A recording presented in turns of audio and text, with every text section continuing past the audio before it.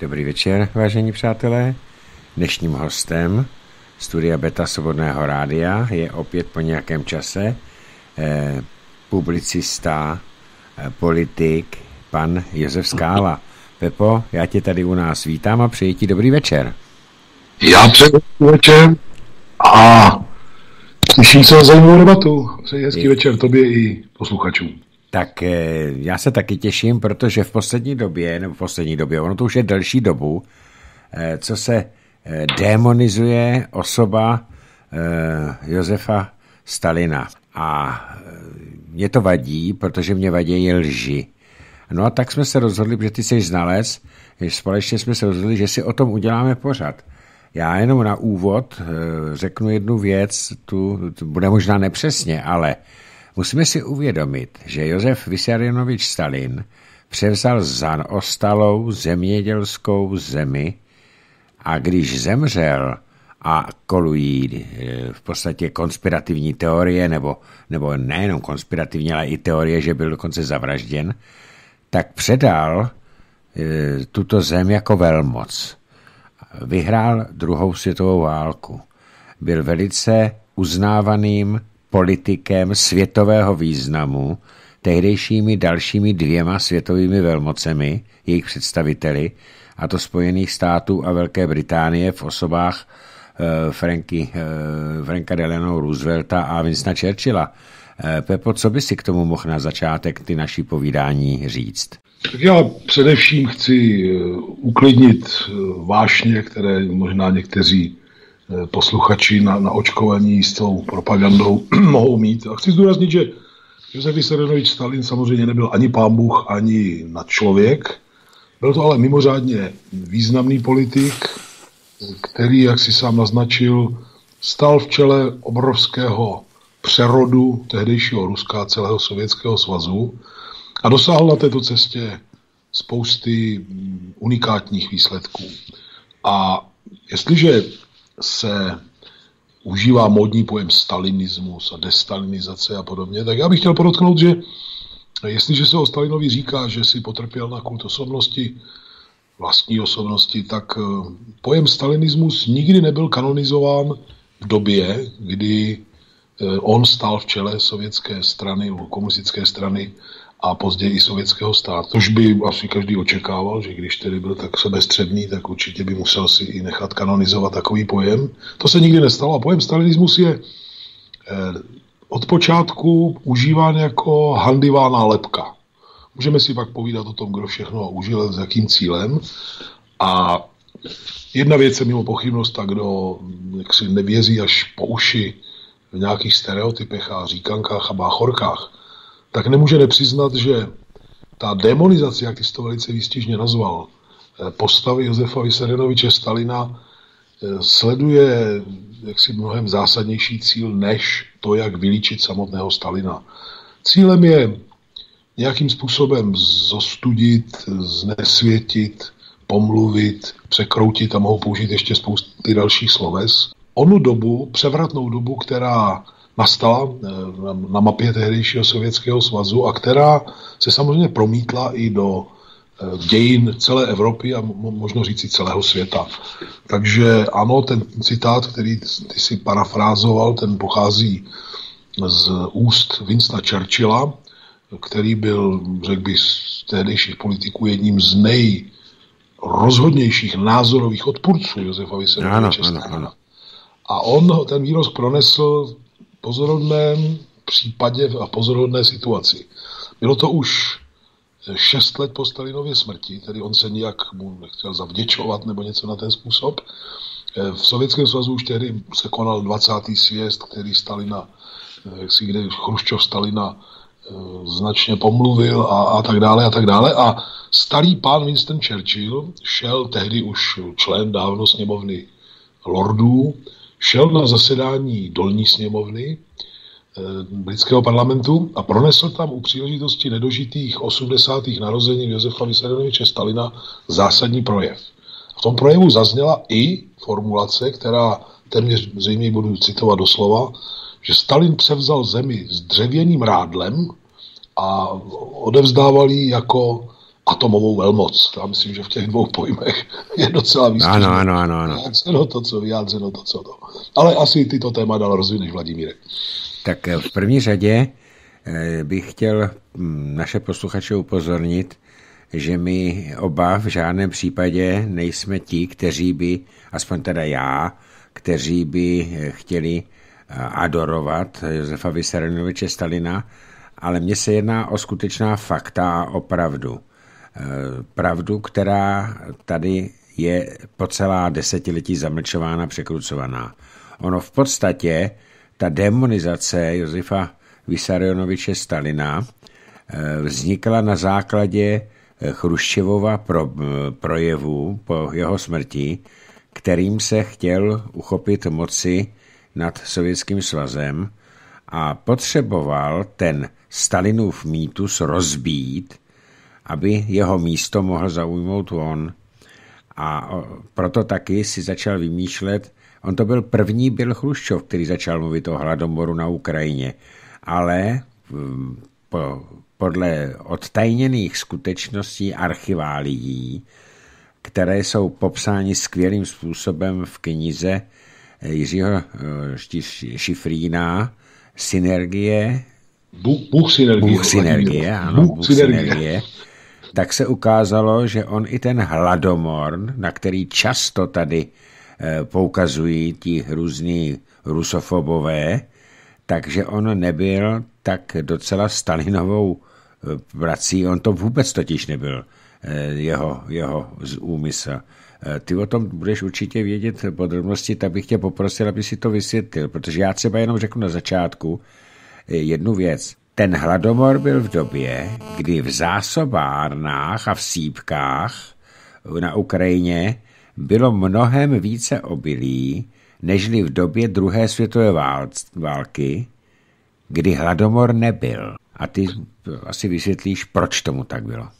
Ano, ano, Vladimír. Já napřed ještě, když dovolíš malou poznámku k tomu, co jsi říkal. Zdůrazním to znovu. Ani ty, ani já nejsme žádní pámbičkáři ve smyslu, že tu budeme pět nějaké ódy eh, černobílé na neobyčejně složitou dobu a osobnost, která stála v čele tehdejšího Sovětského svazu. I Stalin samozřejmě byl rozporuplný člověk, byl. došlo k různým chybám, můžeme o nich potom hovořit, jak k ním došlo, kdo stál v pozadí a tak dále. A mm, já, pokud je o ten hladomor, ano, to je jedna z, jeden z takových mýtů, které jsou velmi, no, skutečně sprosté a arrogantní. Stalin stal v čele strany, tehdy nikoli státu, v době, kdy se vyčerpaly možnosti oné nové ekonomické politiky NEPu a měli, mělo to za následek mimo jiné to, že rolníci přestali mít motiv prodávat eh, jaksi, obilí a další zemědělské produkty do města, protože neměli co si za peníze, které za ně stržili, koupit. A Sovětský svaz začínal velkou industrializaci, modernizaci svého průmyslu zásadní a musel nějakým způsobem nakrmit eh, město, protože lidé z měst utíkali. Byl to důsledek politiky, která eh, svého druhu byla mm, takovou jakousi vzdálenější kopí toho, co se v Rusku odehrávalo v 90. letech. Nikolaj Buchary na další stoupenci této cesty, oni chtěli zvětšit ten neb, eh, měli heslo obohacujte se a v podstatě trvali na tom, že je třeba nechat Rusko tak, jak je, Eh, nechat venkov tak, jak je a eh, jak si na bázi soukromé iniciativy, jenomže to, to prostě nefungovalo. A eh, aby se mohl rozvíjet sovětský venkov, tak musel být rozvinut průmysl mimo jiné ze dvou důvodů. Za prvé proto, aby se ten venkov modernizoval, aby se ne, ne, neoralo dřevěným rádlem, jako předtím, jak bylo řečeno.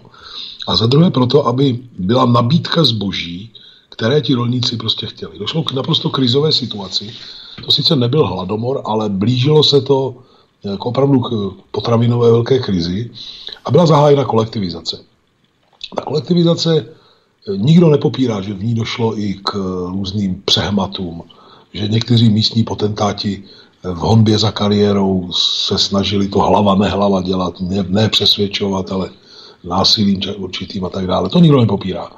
Eh, mimochodem Stalin tomu pak čelil poměrně energicky Ale hm, tehdy rolníkům ruským se nejenom ze zahraničí, ale i z úst Lva Trockého, který mezi tím byl si vystěhován do zahraničí, můžeme si pak vysvětlit, vysvětlit proč, ano, neustále vtloukalo do hlavy, že zemědělská politika sovětské vlády eh, skončí totálním krachem, že bude hlad a tak dále a eh, vedli je v podstatě k tomu, že kdo měl dobytek nějaký a jiná hospodářská zvířata, tak kdo podlehl této kampani, tak je ve velkém vybíjel.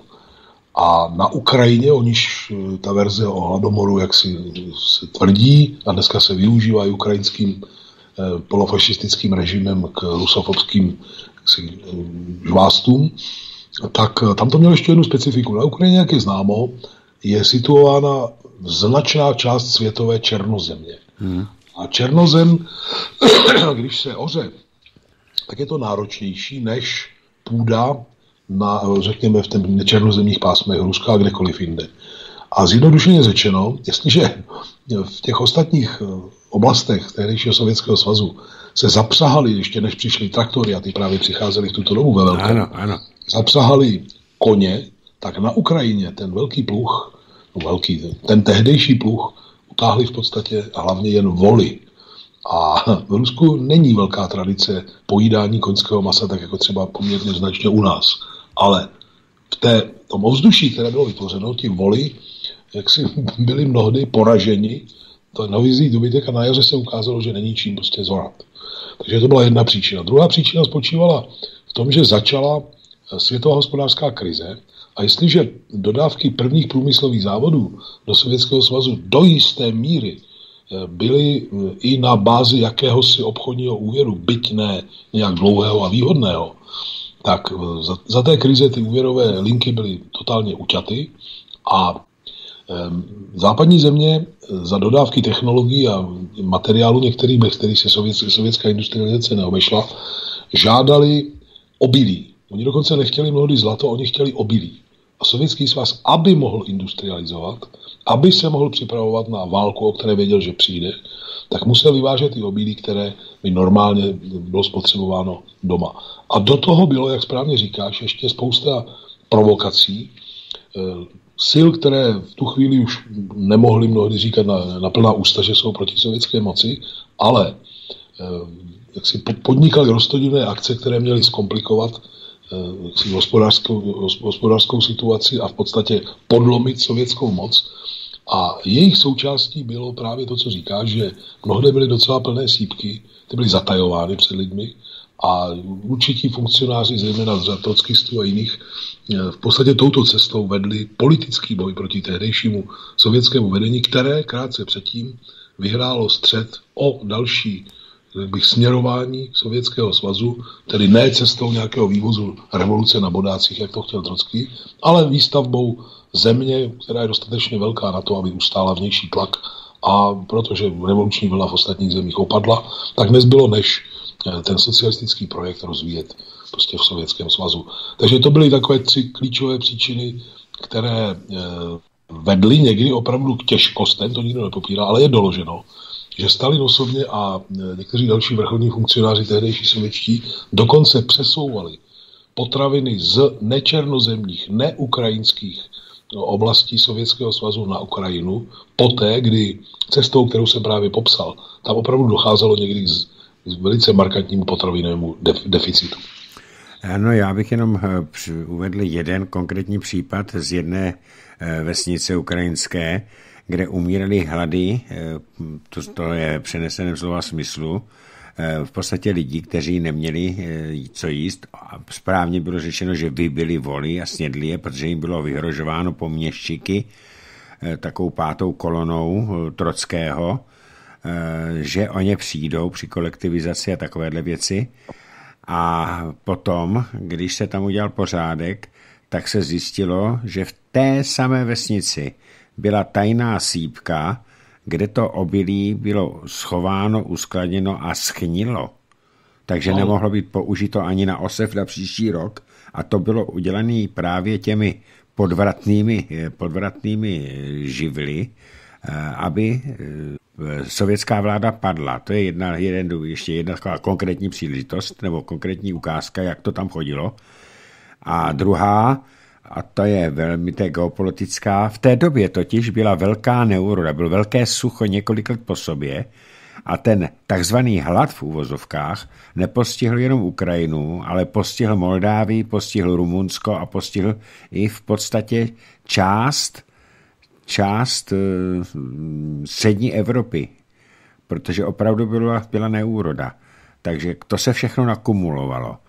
A uh, o tom, jak jsme říkali, tak tam byly právě ty temné síly, především trockisté a sám Trocký, eh, kteří měli za úkol, protože Trocký přišel do Sovětského svazu ze Spojených států s taškama plnýma peněz, za který měl eh, v podstatě dát v plén, eh, tak jako se to podařilo, nebo chtěl to udělat Jelcin, dát ruské bohatství v plén americkým korporacím už tehdy. Ano, on se dokonce oženil pozoruhodně.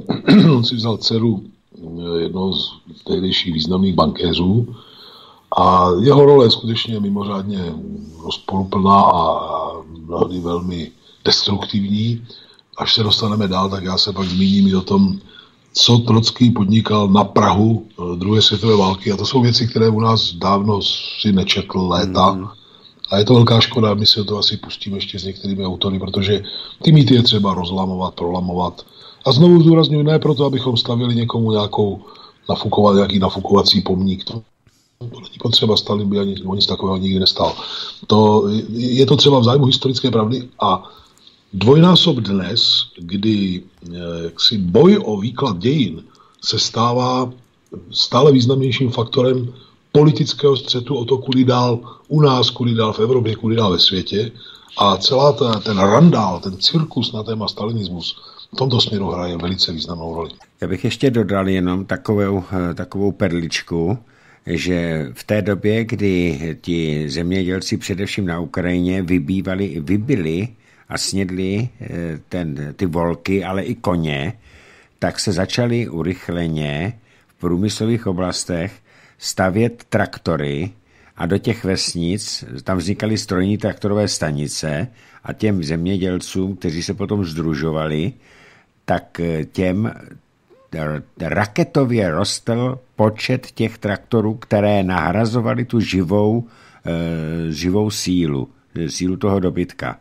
To se tady u nás v tom, v tom případě taky nehovoří.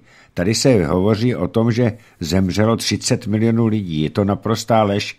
Já jsem viděl právě odkaz na archiválie, tak ono tam opravdu pomřelo hodně lidí, ale musíme ještě, Pepo, eh, do toho započítat další fakt. V té době totiž v Evropě řádil uh, tyfus, skvrnitý tyfus a další takovéto choroby.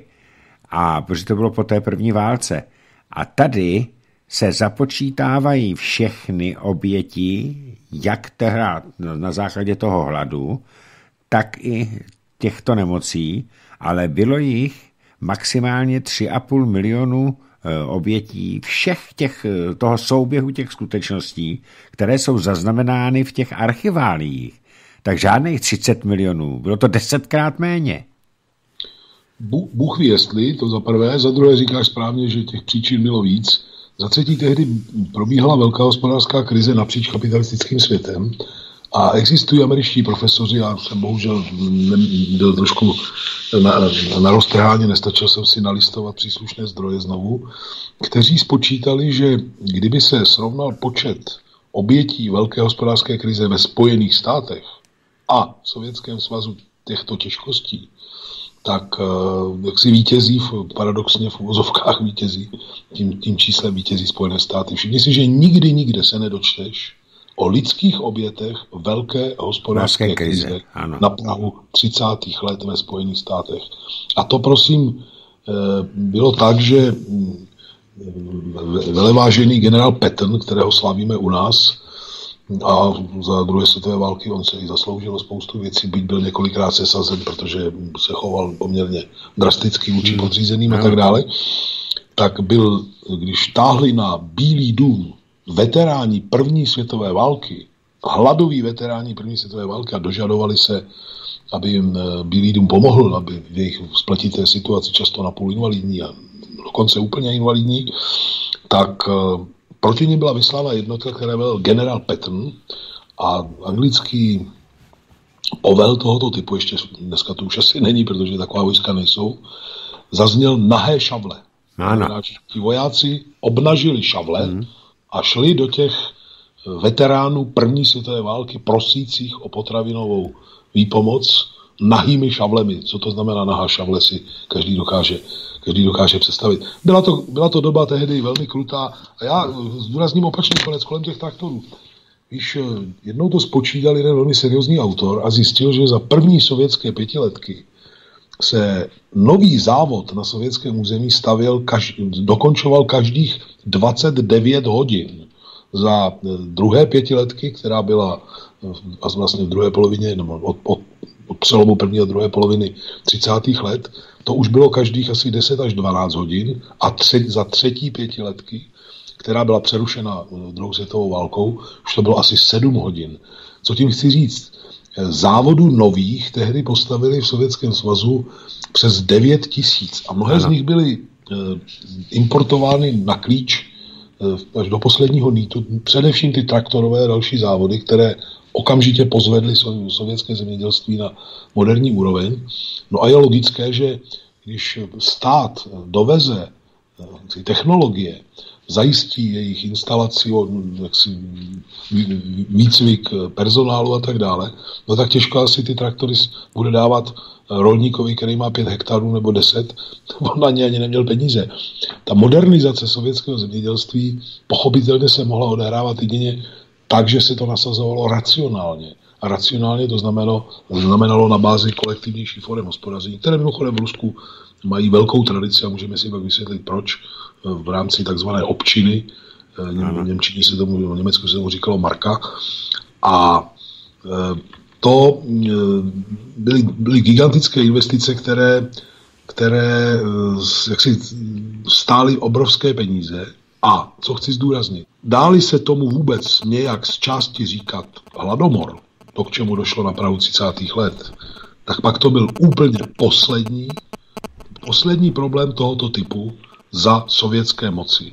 Dokonce ani eh, v letech Velké vlastenecké války a po ní, kdy ta země byla spustošena neuvěřitelným způsobem, eh, nelze hovořit o hladomoru v pravém slova smyslu. Sovětská moc nějakým způsobem, byť velmi skromně někdy, zvládala, zvládala jaksi, zajištění potravin, pochopitelně s výjimkou takových eh, si událostí, jako byla blokáda Leningradu, ale to je samostatné téma. Tam skutečně lidé umírali ve velkém hlady, ano, ano. ale to sotva bude někdo připisovat sovětské moci.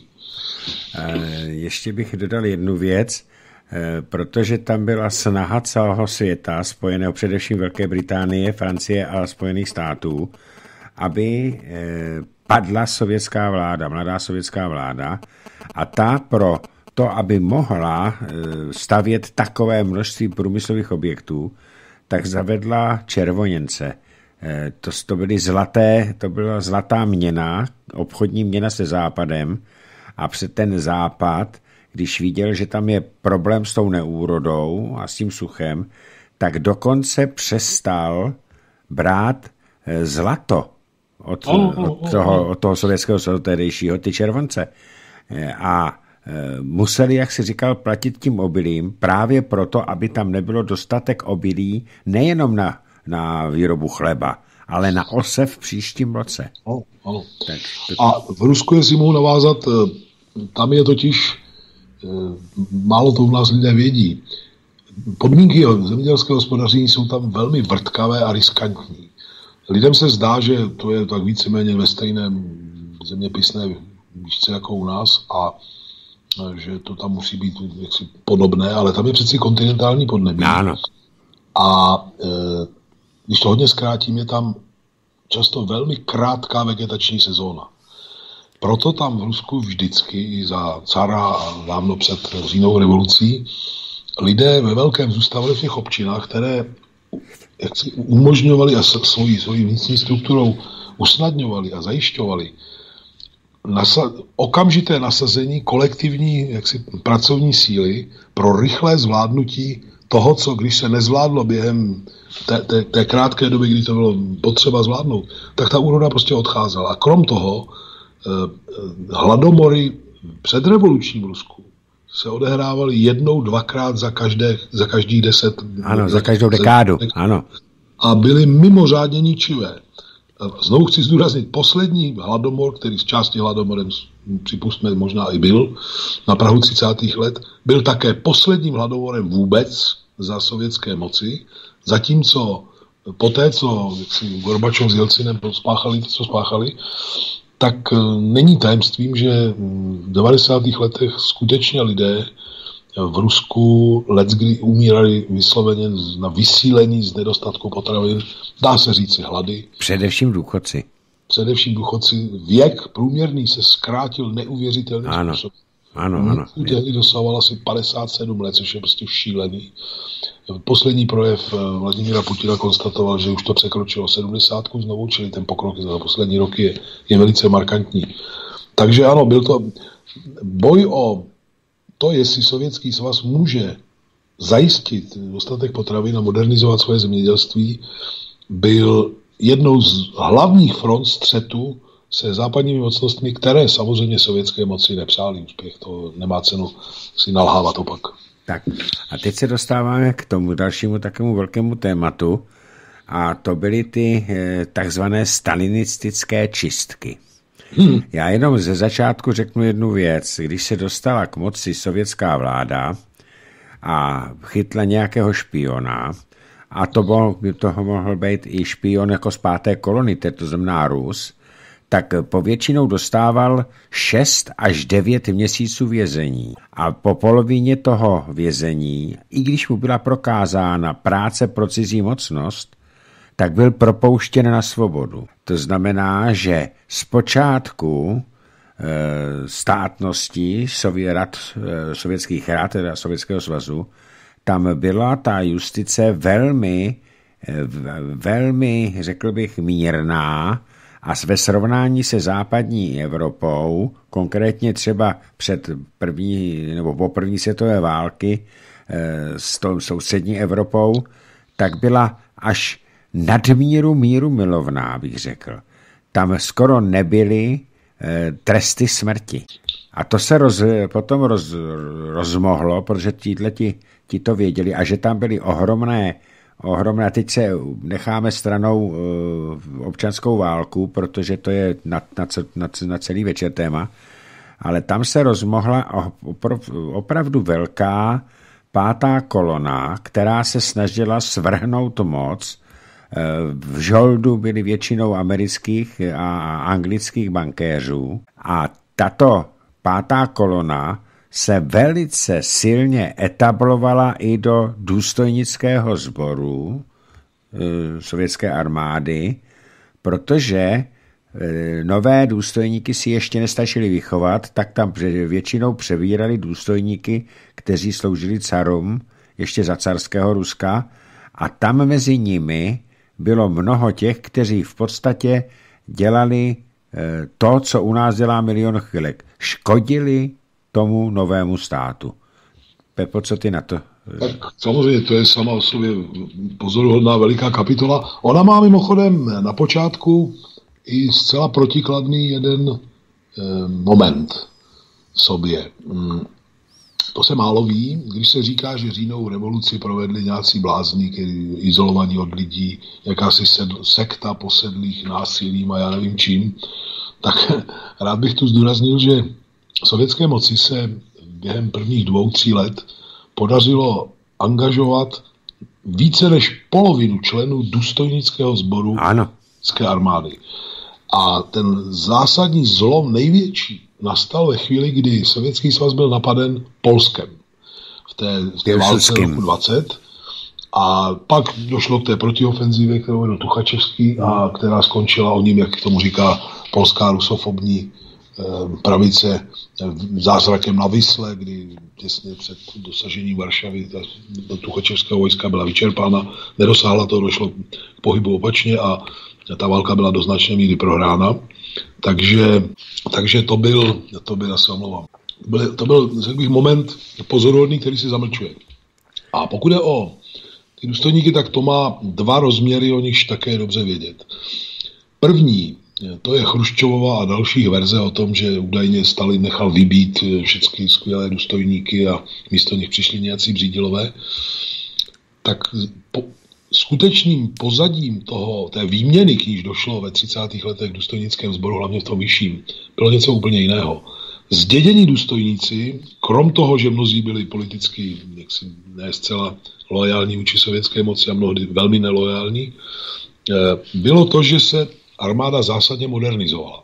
A jestliže základem dřívější armády byla jízda a infanterie, pěchota, a ti důstojníci uměli velet těmto typům vojsk a neměli absolutně zkušenosti s velením mechanizovaných, hmm. mechanizovaným eh, jednotkám, útvarům a sborům, tak mezi tím sovětská moc vychovala novou generaci důstojníků, kteří už se vyznali v tankových vojscích, v dělostřelectvu moderním, v letectvu a tak dále, což carská armáda v podstatě neměla, měla velmi málo a na, na, na zcela odlišné úrovni.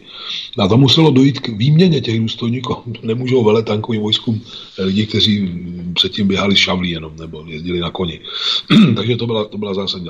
Já se ale dostanu k tomu, o čem ty mluvíš. Ano, to je téma, které eh, lidé eh, posedlí takzvanou destalinizací a, a, a vášněmi proti takzvanému stalinismu eh, považují za svůj veliký trumf a zásadně odmítají připustit to, co je dávno dokázáno, že v sovětském důstojnickém sboru v tom vyšším, zejména kolem lidí, jako byl Tuchačevský, Uborevič, Jakir a další, se grupírovala skupina, která v podstatě usilovala o jakýsi bonapartistický převrat. Oni se chtěli chopit moci, chtěli vyhnat to politické vedení a, a chtěli, si, chtěli to vzít do rukou sami.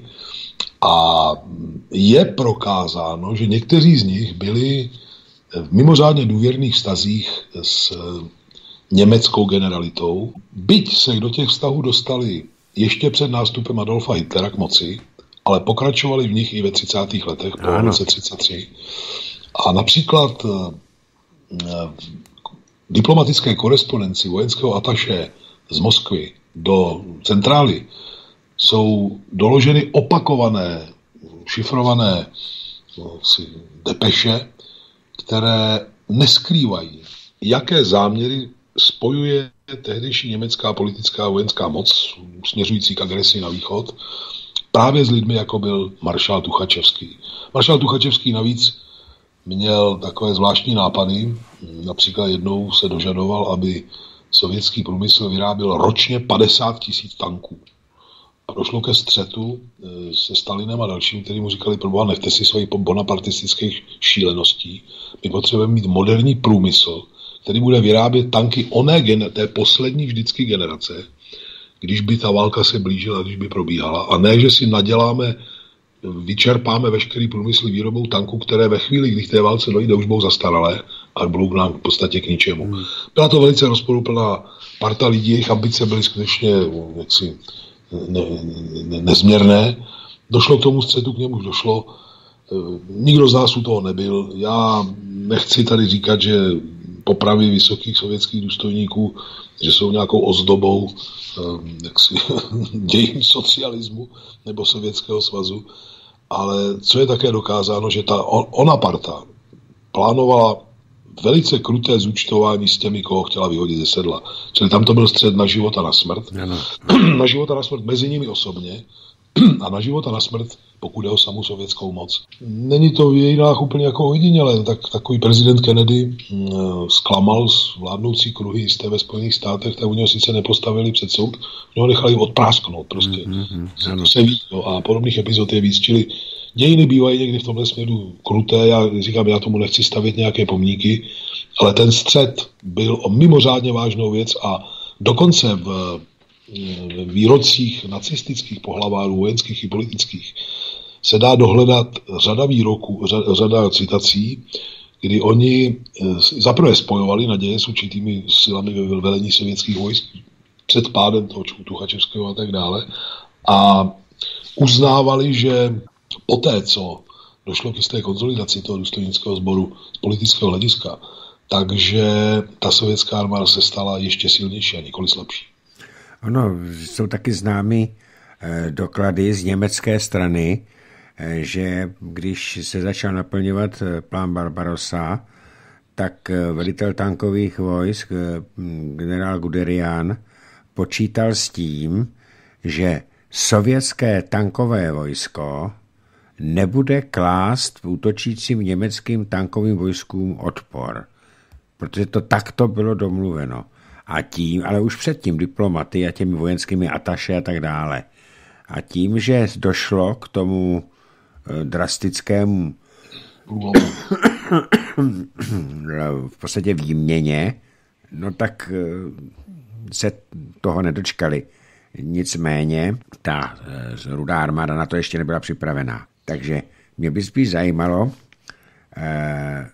jak ty se díváš na to, že z počátku té druhé světové války oproti vůli Stalina rudá armáda neustále ustupovala a nebyla schopná zastavit ten německý příval, i když tam měli vybudované poměrně dosti, eh, dosti významné opevňovací eh, body. A tohle téma, to je zase, to je jádrem mýtu, že Stalin věřil Hitlerovi a že nevěřil, že, nas, že vypukne druhá světová válka, že, a takže se spolu dohodnou. To je báchorka pro jaksi, idioty. Každý, kdo sledoval sovětskou politiku ve 30. letech, tak věděl, že za prvé Sovětský svaz dělá vše proto, aby bylo sformováno antifašistické protiválečné spojenectví se západními mocnostmi, dokud byl čas, ano. které by předešlo té válce, k tomu se můžeme ještě vrátit. A za druhé, že dělal vše pro posílení obrany schopností země, často na, samozřejmě na úkor nějaké e, lepší životní úrovně většiny lidí, ti lidé žili tehdy skromně, ano, to nemá cenu popírat, protože ten průlom byl, ten, ten industrializační a zbrojní průlom byl, byl prostě gigantický. Takže to za prvé. Za druhé, já jsem velmi rád, že v posledních 20-25 letech eh, ruská nezávislá historiografie a z části i zahraniční se úplně vymanila z takového toho krunýře, kdy vždycky sloužili tomu, kdo momentálně byl u moci a popravdě řečeno ty dějiny tak vždycky malinko jako přepsali zase jinak a, mm-hmm. a po desáté jinak. A dneska to je pryč, není ani Gorbačov, ani Jelcin, ani nikdo takový a ti historici mohou jít k prvotním pramenům. Eh, otevřel se z velké části Stalinův osobní archiv, odtajnili se spousty dalších dokumentů a tam se ukazují věci, o kterých jsme měli jen malé tušení nebo v podstatě žádné. Eh, vyšla třeba před asi dvěma lety v Rusku pozoruhodná kniha od eh, historika Arsena Martyrosjana, já ji mám v ruštině, teda jmenuje se zhruba Stalin a vnější rozvědka na Prahu druhé světové velké vlastenecké války. A on tam popisuje mimo jiné docela přesné eh, agenturní zpravodajství, které do toho Kremlu chodilo, kolem toho, jak se německá armáda připravuje eh, k útoku. A popisuje tam také, že v čele tehdejšího generálního štábu byl maršál Žukov, který vytlačil maršala Šapošníkova, vzal si sebou několik dalších přátel z Kijeva, oni předtím veleli kijevskému vojenskému okruhu, a oni se měli dopustit dvou věcí, které bohužel na Prahu války sehrály mimořádně negativní roli. Eh, oni, jak byli z toho, z toho Kijeva, tak eh, kijevského okruhu, tak eh, přeskupili klíčovou, řekl bych, porci vojsk stojících na hranicích ze směru útoku na Moskvu do směru útoku na Kiev. A ukázalo se to, co předpokládal Šepošníkov a jiní, že hlavní směr úderu bude na Smolensk a Moskvu a nikoli na Kiev. To za prvé. A za druhé, tehdejší doktrína eh, sovětská vojenská eh, hodně stavěla na okamžitém protiúderu. Na okamžitém protiúderu. Ano, ano. A to se ukázalo naprosto tragické. A popravdě že oni to údajně teda před Kremlem v podstatě za, zatajili, že vojska byla seřazena do, do takových sestav, které předpokládali, že dojde k útoku, tak vyrazí okamžitě do protiútoku a, a jak si dostanou se na území nepřítele. To bylo naprosto nereálné. Německá armáda, to nebyli žádní žabaři, to nebyli žádní chudáci, prošli několika vítěznými taženími a velili poměrně schopní jaksi generálové, byla technicky velmi dobře vybavena v tu dobu už, mimo jiné teda díky protektorátní výrobě a tomu, co se jí podařilo nakrást u nás. A to se ukázalo jako fatální problém, že armáda, která stojí v sestavách hned poblíž hranic, nikoli v několika obraných pásmech, které mají postupně zpomalovat úder, úder eh, jaksi, útočníka, aby si na nich vylamoval zuby, tak oni, oni byli poměrně na malém území, vel, velká množství vojsk, která se velmi snadno dostávala potom do obklíčení, do těch pytlů prostě a zpočátku bylo, byl skutečně ten počet těch zajaců byl, byl enormní. A k tomu jak si dodávají mnohé, mnohé zdroje, včetně tedy toho titulu Arsena Martirosiana, že Stalin celou tu dobu, když toto zažil, tak mu to vrtalo hlavou a sbíral, nechal sbírat směrodatné dokumenty a doličné předměty, abych tak řekl o tom, co se to vlastně na počátku války stalo, kdo a čím zavinil, že ten počáteční úspěch Wehrmachtu a jeho spojenců byl opravdu eh, šokující a pro, sovětskou, pro sovětský svaz drtivý a, a vel, velmi teda bolavý. No a některé z verzí říkají, že ta smrt Stalinova na počátku března 1953 za takových docela záhadných okolností e, možná souvisela s tím, že se v podstatě tu dokumentaci podařilo schromáždit do stádia a do tvaru, kdy už mohli být někteří maršalové a generálové předvoláni, aby vysvětlili, co a proč to vlastně na počátku války udělali. Hmm. Nevím, nebyl jsem u toho, ale z těch titulů, mm, nemyslím takové ty eseistické, ale mám na mysli ty, které jsou vyzdrojované, kde skutečně jsou citace z dokumentů a působí seriózním dojmem, e, to vypadá, že to může být jedna z příčin toho, co se na Prahu v března roku 53 stalo. Asi se o tom ještě budeme bavit, jak, jak prostě umíral za zvláštních okolností. Mm, těch důvodů mohlo být víc, ještě pak je tam jeden velmi párný, k tomu se asi dostaneme, ale docela bych věřil, že toto mohla být jedna z příčin. Jedna z příčin. Ano, eh, na jednu stranu eh, maršál Žukov potom byl jeden z prvních eh, velitelů, kteří obětovali Kirjev, aby zachránili Moskvu, protože on přišel na to, že ten údol, jak si říkal, jde přesně přes Smolenska na Moskvu a takže oni potom museli ten hlavní sílu obranou zpřesměrovat k té Moskvě. Ale já jsem chtěl říct, mluvit o jiné věci. Eh, když Němci stáli v Jasné Polianě a na předmostí, na předměstích Moskvy, tak Hitler už nechal vytisknout eh, pozvánky na banket eh, v Kremlu.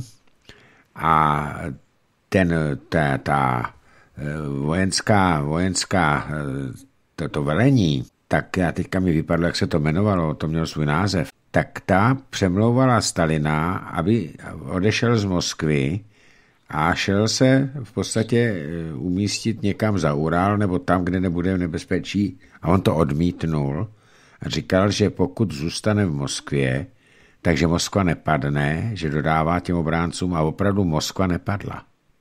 Hmm. Já k tomu dodám jednu epizodu, která je, myslím, jakousi básníkovou kapkou rosy. Všechny sovětské instituce, téměř všechny, i gro se na podzim, někdy tak do poloviny října 1941 vystěhovali daleko z Moskvy, do Ufy, do Kujbiševa a ano. těchto míst. Vystěhovala se tam i Kominterna, že jo, a teda, a teda. A Stalin zůstal v Moskvě, tam někdo říká, že 15. března přichodil tři hodiny po nádraží, jestli pojede tím vlakem nebo ne, a pak, že se vrátil, což je zřejmě taková nějaká mm-hmm. legenda. On zřejmě po žádném nádraží nechodil, zůstal v Moskvě. Za těch náletů, jak docela notoricky známo, se pracovalo i v metru, že tam měl kancelář někde dole, aby nespadla, spadla bomba, tak tam asi se zdálo, že by snad nedošlo až k té explozi až tam. A e, teď k té epizodě. Zůstal mu k ruce maršál Vasiljevský z, z generálního štábu. Hmm. A maršál Vasiljevský měl do, k, k ruce jak si u Kremlu, abych tak řekl, přímo u vrchního velitele, osm důstojníků. A víš proč, Vladimíre? Ne, to se ne... na, letišti, na letišti byly přistaveny letouny typu Douglas, hmm. které byly pro devět pasažérů každý. a bylo to rozděleno pro několik klíčových jaksi, institucí sovětských pro případ, že by Němci opravdu se valili eh, ulicemi Moskvy. A celý generální štáb, ta, te, te, tento operační oddělení, které Vasiljevský řídil a které bylo v osobním spojení se Stalinem v Kremlu, čítalo Vasiljevského a osm chlapů. Yeah. Prostě, protože víc se do toho letadla nevešlo. A nemohli tam blokovat víc letadel. Mm-hmm. A Vasiljevský se nadřel jako kůň, protože dovedeš si představit koncipovat a řídit válečné operace s osmi důstojníky, no. kdy normálně to dělají, dělají prostě celé štáby, no. stovky, stovky štábních prostě důstojníků. Tak to byl nadlidský výkon a on mimochodem toto číslo eh, demonstruje, eh, kam až to došlo a jakou odvahu a rozhodnost vyžadovalo teda v té Moskvě zůstat, On údajně vyšel několikrát i z toho Kremlu po nějakých náletech a tak se povídal si tak trošku s lidmi na ulici, což se okamžitě s proměnutím rozkecalo a dodávalo to obyvatelům Moskvy jaksi vůli se bránit a se ne, ne, nepočítat s nějakou kapitulací. Tady se organizovala velká domobrana z moskevských závodů, z lidí, kteří tam zůstali, byly vydány zbraně a tak dále a tak dále, pro případ, že by se Němci vlomili až do, do Moskvy. No a Stalin je chodil občas údajně jako osobně podpořit morálně tím, že mezi ně vyšel. Eh, tak eh, teď se vrátíme, nebo ne vrátíme, ale dostaneme k tomu, eh, necháme druhou světovou válku druhou světovou válkou, protože je celkem jasné, že ta druhá fronta byla otevřena až v době, kdy ty angloameričtí spojenci věděli, že rudá armáda a průmysl, sovětský průmysl je tak rozjetý, že by Němce hnali až do La Manche a ovládli by celou Evropu, v podstatě vojensky, takže honem rychle otevřeli druhou frontu. A navíc ještě je také známo, že když se američani dostali v protiúderu eh, německém v Ardenách opravdu do velmi složité situace, tak generál Eisenhower požádal Stalina, o mohutný útok, aby vázal hodně vojenských sil právě na východní frontě, aby se oni z toho překvapivého protiútoku v Ardenách mohli zpamatovat. A Stalin neváhal a i když ta armáda byla v podstatě vyčerpaná a měla nárok na odpočinek, tak ten protiúder udělal, aby těm svým spojencům na západě v těch Ardenách pomohl. To je jenom taková ta... Ale já bych od tebe chtěl slyšet, jak to vlastně bylo s tím skonem e, Stalina. Protože já jsem o tom taky něco četl, něco bylo konspirativního, něco bylo až neuvěřitelného. Ty o tom máš lepší informace, tak e, Pepo, jak to vlastně s tím úmrtím Stalina bylo? Já vím, že mu tam měla být stráž, která k němu neměla, nesměla pustit doktora. No, eh, existuje dvojí dokumentace, respektive dva, dva typy zdrojů. První jsou, se zdají být naprosto nesporné, potvrzené řadou očitých svědků a v podstatě nikdo je nespochybňuje. Ty tvrdí, nebo říkají, uvádějí, že Stalin byl nalezen po záchvatu mrtvice, ano. sedět v podstatě v takové bezvládné pozici někde na kraji postele, snad na zemi, Eh, nemohl mluvit, eh, prostě byl ve stavu paralizován po, po mrtvici a že ho tam našli až večer, poté, co si nikdo netroufl do těch místností vstoupit po celý den. Je notoricky známo, že on byl noční živel, že on stával někdy v 10-11 dopoledne, ale pracoval do 3 do 4 do noci. No ale tentokrát ho nenašli ve tři, ve čtyři ráno nebo v šest ráno po té noci. Oni ho našli až večer po té noci. Hmm, hmm, hmm, Čili ho tam nechali, zdá se podle všeho, strádat velmi dlouho. E, k tomu jsou vysvětlivky typu, že si netroufli tam vstoupit a podobně. Ty jsou dávno vyvráceny, protože jakmile ochranka by a ten personál by viděl, že se, ne, že se nechce snídaní, nechce oběd, nechce nic, tak by určitě hledala způsob, pokud by měla takové zadání. Zřejmě ho neměla, zřejmě měla jiné.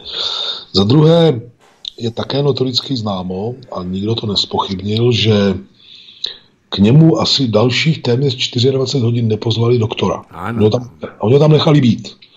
Poté, co tam přijel Ignatěv, to byl tehdejší šéf, se to jmenovalo jinak KGB, a e, Chruščov a zase a údajně řekli, že soudruh spí a takové prostě jako šílenosti a že odjeli.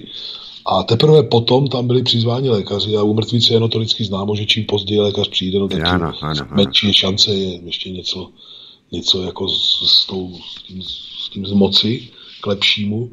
No a pak jsou verze jaksi ještě mnohem chytlavější, které různé zdroje uvádějí. Já nechci být soudcem, do jaké míry jsou pravdivé nebo ne. Jedna tvrdí, že když ho tam našli, tak eh, že mu z úst vytékala tekutina pra, prapodivné barvy. Údajně takové barvy, kterou má člověk, když eh, je na něm aplikován určitý jed. Hmm, hmm, hmm, Dokonce existuje verze, že v Sovětském svazu tehdy existovala laboratoř na takové super zbraně chemické, biologické, kterou vedl jakýsi Majranovský. A Lavrentí Beria, když eh, si to tak, který nebyl tehdy šéfem státní bezpečnosti, navzdory tvrzením, že to tak bylo, nebyl to, on se tehdy zabýval atomovým programem a podobnými věcmi. Tak když si to tak nějak srovnal, tak údajně toho Majranovského zavolal a říká mu jedno slovo, sešit, přineste sešit. Ten se prý rozklepal a jako je, že nemůže. Říká, ne, já ti říkám, přines teď sešit, nebo je to tvůj konec. A to prý bylo velmi prosté pravidlo, že v té laboratoři, kdy kdokoliv si vzal jeden jediný gram čehokoliv, tak se musel podepsat do toho sešitu, že si ho vzal. A v tom sešitu údajně byla nějak, byl podpis kohosi, hmm kdo mohl teda ten jed nějak aplikovat a tak dále. Nevím to, nechci to posuzovat. Řekl bych, že proto byla celá řada důvodů. Popravdě řečeno smrt Lavrentie Berry nedlouho na to mohla souviset i s tím, že věděl pravdu o tom, jak to vlastně bylo s tou Stalinovou smrtí a tak dále a tak dále. Tam je spíš důležité si uvědomit, co mohlo být bezprostředním důvodem toho, že někdo stál o Stalinovou smrt. A já uvedu, jeden důvod jsem tady uvedl už, to znamená Připustme, že eh, příslušné orgány pozbírali dokumentaci o tom, kdo a jak a proč se provinil velmi vážně na počátku velké vlastenecké války. A druhý důvod byl ten, že Stalin neskrýval, že mu je 73 let pryč, že je velmi unaven, on prodělal asi dvě nebo tři mrtvice po válce, jednou asi, asi tři měsíce léčil tam v Soči někde, protože byl opravdu velmi utáhnej z té války. A On dával jasně najevo, že nechce už být šéfem a že chce, aby se k moci dostali mladší. A on dokonce eh, nechal kolovat návrh na to, aby byl předsedou sovětské vlády eh, zvolen Pantělejmon Ponomarenko, což byl zhruba 50-letý chlapík, velice úspěšný a schopný. On byl šéfem Běloruské komunistické strany, velel na běloruském území, byl šéfem toho partizánského štábu, kde probíhaly velké partizánské operace. Po válce někdy v roce asi 47 nebo 48 byl povolán do Moskvy, stal se tajemníkem ústředního výboru, byl členem politběra tehdejšího a tak dále. A e, Stalin si ho údajně měl vybrat jako svého nástupce v roli předsedy vlády, ale hlavně On tehdy eh, na té své dáče se scházel s různými dalšími členy sovětského vedení a měl koncept zásadního přerozdělení pravomocí mezi stranou a státem, stranou a vládou, mezi stranou a dalšími státními institucemi. A měl za to, že, a neskrýval to, že neexistuje důvod pro takovou tu dvojkolejnost určitou, kdy v, tom, v těch stranických strukturách jsou jacísi kvazi ministři, jo, kteří vlastně řídí pak ty ministry a že ta strana se má zabývat tím, či, co jí přísluší, to znamená výchovnou prací, výběrem svých kádrů a tak dále, ale ekonomická, politická a vojenská jaksi moc má být v rukou státních institucí ze vším všudy, prostě jak je to všude po světě. A to se domákla, až to nebylo ani žádné velké tajemství, parta lidí, jako byl Chruščov, hmm. a pochopili to jako konec svých zlatých časů Protože Chruščov třeba, budeme-li o něm hovořit, byl člověk neskonale hloupější a méně vzdělaný než ta stalinská garda. On neuměl ani pořádně pravopis, hmm. nikdy, že jak si diktoval ty projevy někomu, oni to pak po něm museli opravovat. A byl, měl velmi temné svědomí z doby, kdy honil kariéru. Mimochodem lidé jako Chruščov eh, ty, ty, ty, ty, ty líčili, dokud Stalin žil, eh, Stalina jako nějakého pana boha a já nevím, na člověka a popisovali, ve svých projevech používali podlézavých eh, jaksi formulací opravdu až přes hranici každé důstojnosti. A oni si potřebovali umít ruce prostě za, ty, za, ty, za ty svinstva, které se za tou kariérou hnali. Můžeme si o nich taky povídat potom. No a ti, tohle všechno mohlo být docela silným motivem e, zabránit těm změnám, které byly na spadnutí. Pan Tělimon Ponomarenko, jakmile se Chruščov chopil moci, tak byl okamžitě vyhnal kam si ze nějakého náměstka ministra a nakonec e, za velvyslance někam do Ázie, to se ho zbavili úplně. Jestliže si ho vybral Stalin, tak Stalin měl na lidi poměrně čuch. To musel být asi opravdu schopný člověk, protože je to jako všichni, kdo kolem Stalina dělali, tak říkali, že takto odpovědnou práci on svěřoval opravdu lidem, kteří něco uměli a že si to prověřil. Takže došlo k jakému si tichému puči, nebo jak to nazvat, který okamžitě po Stalinově smrti a zřejmě nějak v souvislosti s ní, a já nechci dál spekulovat, zvrátil eh, vývoj Sovětského svazu úplně jiným způsobem, jenom drobnou, jestli dovolíš korekturu, eh, ten Stalinův, eh, teda Chruščov projev na 20. sjezdu, ten se odehrál až necelé tři roky poté, co Stalin zemřel. Stalin zemřel v březnu, 3. nebo kterého března 53 mm. A Chruščovův projev na uzavřeném zasedání 20. sjezdu KSS se odehrál 25. února 1956. Ovšem on si tím velmi posílil svoji roli, on mezi tím stačil jak si se zbavit Berry, Malenková, kde koho. Ano, ano. Tak si posílil svoji roli eh, způsobem, který, eh, já to možná krátce popíšu, to bylo opravdu skandální. Ten si trval dlouho, asi deset dní nebo kolik, a už byl hotový. A najednou bylo řečeno, že pouze sovětští delegáti se mají sejít na uzavřeném zasedání. Na to uzavřené zasedání přišel Chruščov a aniž by to s kýmkoliv předtím si nechal odsouhlasit, tak tam vystoupil s driáčnickým projevem dlouhým o takzvaném kultu osobnosti. Ano. V tom projevu si ho lidé přečtou, tak se možná nestačí divit. Tam se, tam se vykládají tak neuvěřitelné hlouposti, jako že Stalin řídil válku podle globusu. Jo, ne, nebo se tam tvrdí, že když eh, Hitler napadl sovětský svaz, tak Stalin dostal panický záchvat napřed běhal údajně po Kremlu a křičel, že Leninovo dílo je s proměnutím prosráno a potom e, se uchýlil údajně na svůj dáču a tam se spíjel do němoty asi deset dní, takže pro něj museli přijet a on se domníval, že ho přišli zatknout. Takové nesmysly je prokázáno naprosto jednoznačně a dokumentárně, že se dostavil bez ráno, když Němci napadli Sovětský svaz do kanceláře a tam v následujících dnech trávil 16 až 18 hodin denně. Jo, to, to, to je doloženo prostě, čili to všechno byly velké lži. No a ten projev na 20. sjezdu byl sice jako uzavřený, byla to osobní iniciativa Chruščova, psali mu to ještě někteří jeho poskoci, ale eh, jak si zahraničním delegacím bylo tak nějak naznačeno, že nějaký takový projev byl a tím to skončilo. Ale jeho text se přes jednoho polského účastníka toho všeho podařilo dostat do Izraele a z Izraele do Spojených států. A když se toho projevu zmocnili, projevu tohoto typu, jak si političtí protivníci, tak komunistické strany ve Francii, Itálii, jinde v západní Evropě byly instruovány tvrdit, že žádný takový projev neexistuje. A byly zahnány do neuvěřitelně hloupé situace, když se pak ukázalo, že to není pravda a že, že ten projev skutečně byl a když, když ho Západ měl a všude ho jako nechal šířit. Takže tam se odehrály věci, věci opravdu ne, velmi nepodařené, řečeno hodně diplomaticky, které nám ubližují dodnes. Tak, eh, Pepiku, protože máme 20. hodinu, tak si dáme čtvrt hodinky pauzu, aby si trochu oddechl. Dobře. A, eh, a ve čtvrt na devět zase budeme pokračovat. A já bych se ještě předtím, když potom dám eh, vám, vážení přátelé, posluchači, prostor, tak bych ještě chtěl slyšet eh, pár slov od Josefa Skály právě o Chruščovovi, hmm. protože Chruščev to byla, řekl bych, taková předzvěst Jelcina.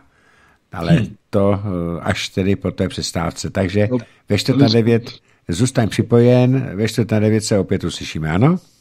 Je mi líto, že jsem musel tuhle nádhernou písničku eh, Jedy Špinarové stáhnout, ale můžu vám, vážení přátelé, slíbit, že ji při příští vysílání zahraju celou, protože teď už jsme zase zpátky, takže Pepo, ještě jednou dobrý večer.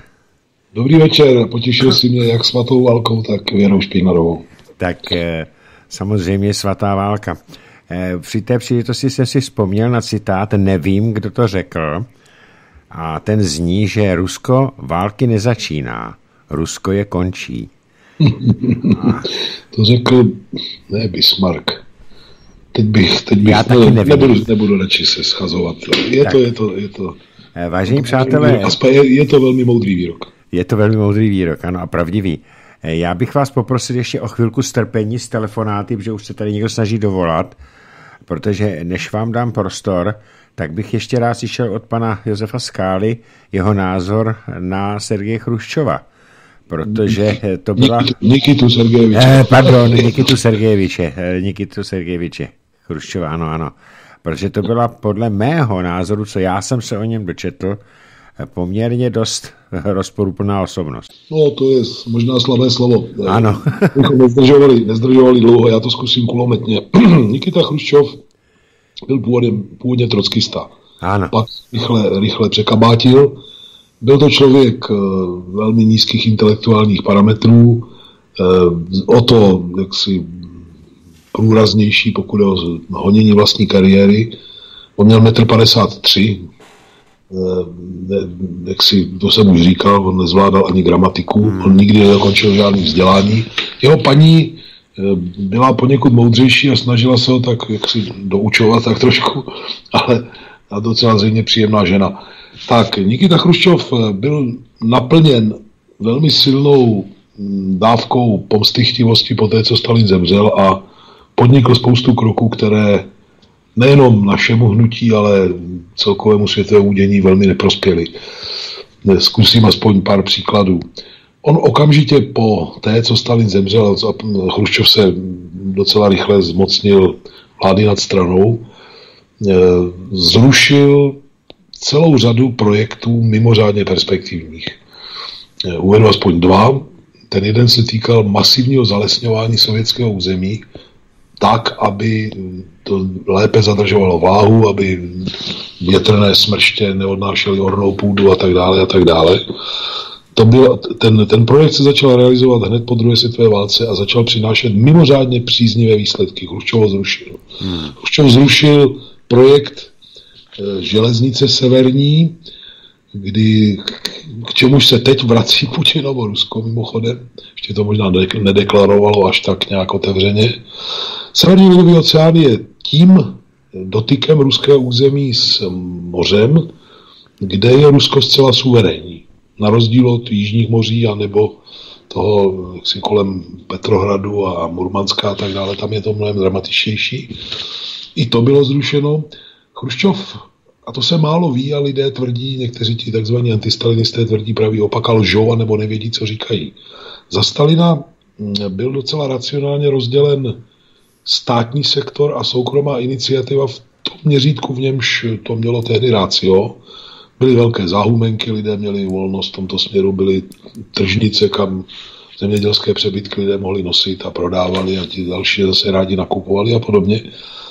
Eh, Chruščov to zrušil. Chruščov v podstatě zakázal lidem mít eh, větší jaksi, hospodářské zvířectvo, kolektivizoval to všechno na doraz úplně nesmyslně.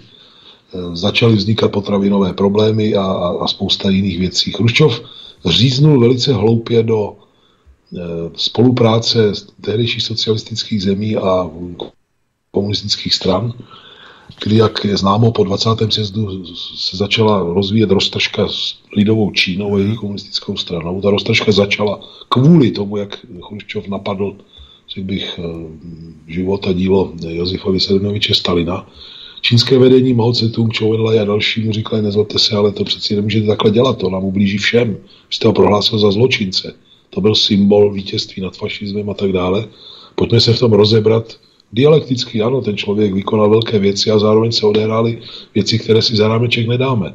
Číňané toto zvládli, jak víte, Mao Tse-tung Oni mají tu, tu teorii, že 70% bylo dobře a 30% nebylo dobře. Eh, a já netvrdím, že to takhle musí být, ale eh, má to nějakou, má to nějakou prostě logiku. A eh, rozbil v podstatě mezinárodní hnutí Chruščov dělal dobrodružné kousky typu vývozu raket na Kubu a pak jejich stažení. Hmm, hmm. Kdy Karibská krize, ano. Karibskou krizi, kdy to hrozilo pomalu válkou a když už k tomu došlo a stahoval ty rakety zpátky, tak si nedal ani tu práci, aby zveřejnil, že američané výměnou za to stáhli svoje rakety z Turecka. Hmm, hmm. Že Sověti vypadali jako ti poražení. Ano. A tak dále. Eh, dopouštěl se, do, do, poničil sovětské zemědělství o velkém. Ano. Sovětský svaz měl velké území, Černozem a tak dále. Tam chtěl intenzifikovat tu výrobu. Tam, kde je to úrodné, kde jsou komunikace, kde jsou železnice a tak dále. Ne, on začal takzvaně zúrodňovat celiny. Celiny. Jo, kde první sezónu to něco vyneslo, druhou už to bylo horší a pak už to byla čistá ztráta. A to, co bylo sklizeno, tak z velké části zůstalo někde ležet a schnilo, protože tam nebyly sípky a tak dále. V těch velkých dálkách nebylo možné to tak rychle zvládnout. Kruščov byl nakonec odvolán eh, za docela dramatických okolností v roce 64 kdy poprvé se o to pokusili jeho odpůrci v roce 57, už to vyhráli v tom předsednictvu stranickém a nakonec on tak si svými lidmi v středním výboru to ještě dokázal zvrátit, kdy mu Žukov nechal dovést vojenskými letouny členy UV během několika málo hodin do Moskvy. No a v roce 64 už to prohrál. Ale za Chruščova se především stalo to, co se v terminologii našeho hnutí čemu se v terminologii našeho hnutí říkávalo eh, historická iniciativa do nástupu Chruščova eh, Sovětský svaz a naše hnutí si kladlo samostatné cíle, nezávislé a budovalo jakousi svébytnou civilizaci. Eh, Chruščov tohle v podstatě schodil ze stolu a začal politiku, která tu historickou či civilizační iniciativu vzdala a chtěla soupeřit v jakýchsi konzumních parametrech, což dost dobře proti západním zemím které vydrancovali celý svět přes kolonie a tak dále, byl naprosto nereální cíl. No, bohužel to pak všechno vedlo k následkům, které, které známe. Dnešní e, ruská veřejnost se na Chruščova dívá podobně jako na Gorbačova velmi kriticky. A naopak, to možná víš, Vladimíre, poslední průzkumy veřejného mínění signalizují, že Stalina hodnotí leckdy i přes 90% ruské populace kladně. Vím včetně mladé generace a je, je pozoruhodné, co na, co na něm vidí jako klad mladá generace, která to zná už z druhé a z třetí ruky. Nejčastější odpověď údajně bývá, že to byl dobrý manažer, že to byl skvělý manažer, což mimochodem v tom je asi docela velká dávka pravdy. Mm-hmm. No ještě poslední věc, a už ponechám, dáme slovo, dáme slovo posluchačům. E, to je ten teror 30. let a tak dále. Tak e, dneska se ví, a je to doloženo, že teror 30. let vznikl, mám na mysli roku 37 a 38, vznikl proto, že Stalin, Molotov a dalšího kolegové chtěli zavést po schválení nové sovětské ústavy i nový volební zákon, který by umožňoval alternativní kandidatury na jeden a ten samý post. To znamená, že nejenom, že by navrhovala komunistická strana, ale, ale odbory, eh, tehdy ten jejich svazár, se to bylo DOSAV, a jiné prostě společenské organizace a mohli se utkat, co já vím, nějaký první tajemník oblastního výboru strany s, se schopným trenérem, střílím od boku, parašutistů nebo, nebo hokejistů, který prostě by byl populární mezi lidmi. To pojali lidé jako Chruščov jako bezprostřední hrozbu své kariéře a vymysleli teorii, že tento volební zákon by ohrozil sovětskou moc a vyvíjeli takový tlak na toho Stalina, že on nakonec, když viděl, že by to ústřední výboru možná prohrál proti ním, tak uh, vstoupil z toho hmm. na poslední chvíli.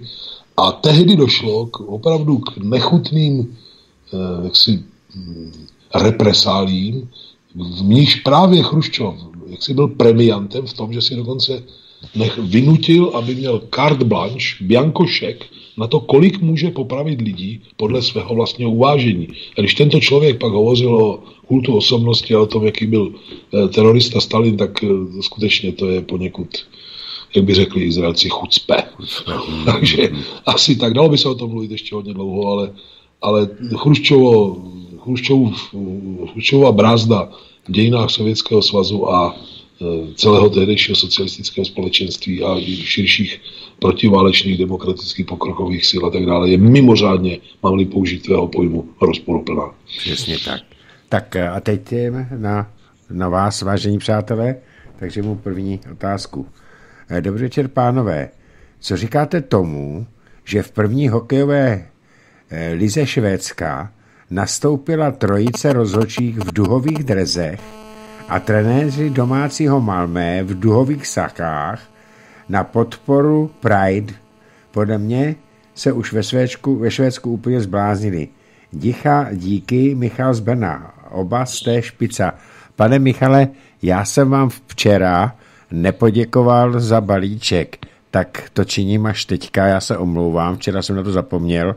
Eh, díky, eh, děkujeme moc krát a mám to vyřídit od, eh, od nás, ode všech. Tak prosím, co říkáš na tohle, že se ve Švédsku zbláznili, Pepo, že už tam ty rozhočí jsou v těch nesmyslných duhových barvách a tak dále.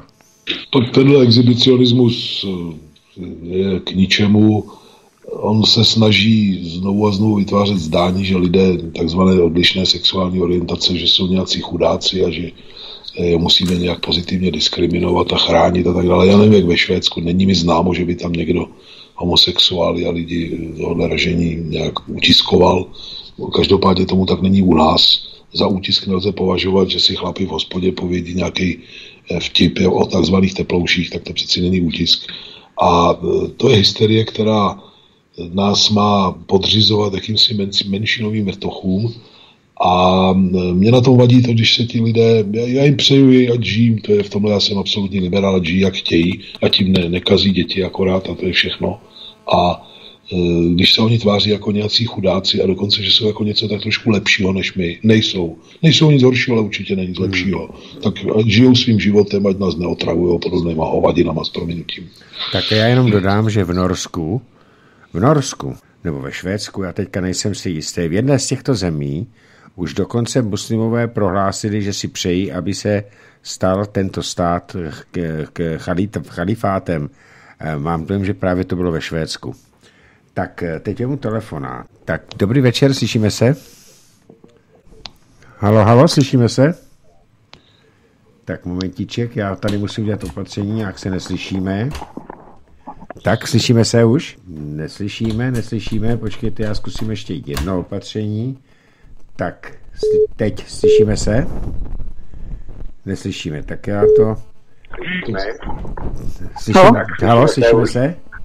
Ano, dobrý večer, pane Kaple. Dobrý večer. Zdravím i pana Skálu. A já jsem jenom tak nějak se chtěl zeptat, jestli pan Skála uh, souhlasí s tím, že já jsem teda četl knižku o nějaký anglický diplomata, který uh, tvrdil, že vlastně vzal si překladatele a ten se, mu, ten se říkal, že prostě proč potřebujete překladatel, umíte perfektně rusky. A on tenkrát říkal, ano, Stalin umí taky perfektně anglicky, ale nechává si čas na rozmyšlenou. Prostě byl to pan někdo. Podle mě Stalin. A i ten, ten anglický diplomat. Hmm. A jinak ještě jednu připomínku k tomu v Chruščovi. Já jsem taky čet, že vlastně Žukov přislíbil, že si ho pojistil vlastně Chruščov už dávno předtím, než to začal. Tam, proto je tam možná ta, ta, ta, ta prodleva mezi tím projevem jeho. Žukov mu řekl, že, proti ně, pro, že vojsko půjde za ním. Ano, vojsko šlo za ním, nebylo by šlo ale proti Stalinovi. To už byl Stalin po smrti. To je můj názor. Mm-hmm. Mohl byste to tak nějak zkomentovat? Díky, na Začnu od konce. Eh, k Žukovi se to, jak posloužil Chruščovi v roce 57, vyplatilo, vyplatilo jen velmi krátce, protože uplynulo několik málo měsíců a byl odvolán z vrcholné funkce a byl poslán znovu do provincie. Takže Chruščov byl v tomhle člověk i velmi proradný. Hmm. Pokud jde o eh, to, nakolik Josef Stalin uměl anglicky, není mi známo, že by uměl nějak plně anglicky, to se nikde netvrdí.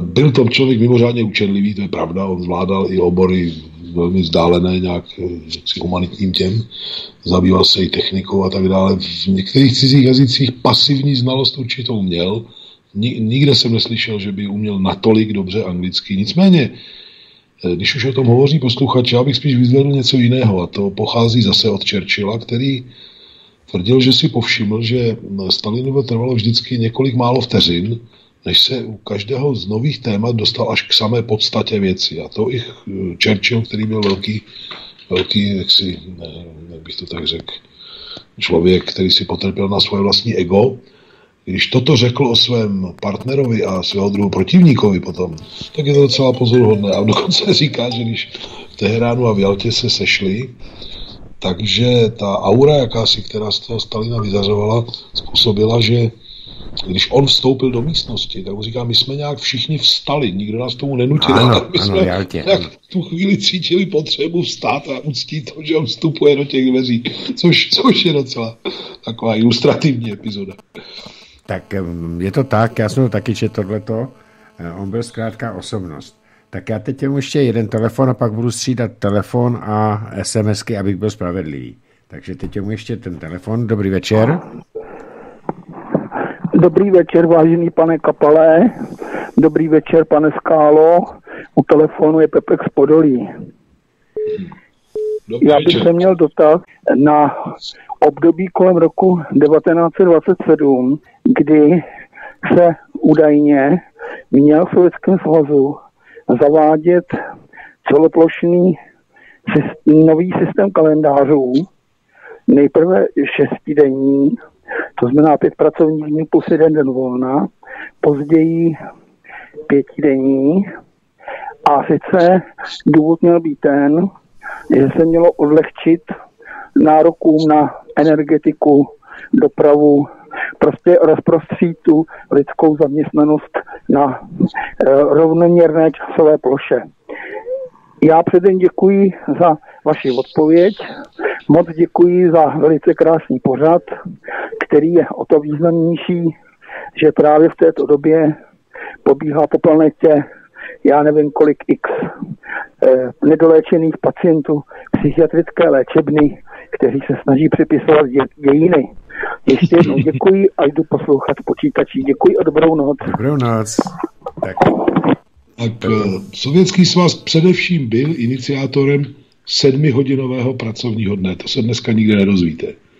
Jo, k době, kdy eh, u nás třeba za přednichovské republiky velkým výsledkem bylo to, že byla osmihodinová pracovní doba nakonec uzákoněna. Sovětský svaz šel ještě dál. A to je ona historická iniciativa. Tam nešlo jenom o to, že by se rozprostřeli více nároky na energetiku a že by se to racionalizovalo. Takové náměty tam také byly. Ale tehdy byla skutečně eh, snaha eh, v duchu toho, co hm, jak si Marx píše hezky v kapitálu, vytvořit, eh, sformulovat tu ekonomiku tak, aby práce, která, která člověka živí, představovala stále menší část eh, dne, týdne a roku a aby člověk měl více času a sil a prostředků na vzdělávání, sebekultivaci a tak dále. Mimochodem, eh, skok, který provedlo sovětské školství, eh, teda za, za Stalina takzvaně, byl naprosto gigantický a četl jsem i články amerických profesorů o tom, že velkou vlasteneckou válku vyhrála sovětská střední škola, která byla velice, to znamená masivní, masivní vzdělání no- nové generace, velmi solidní vzdělání, oproti 75 až 80% negramotných za carismu.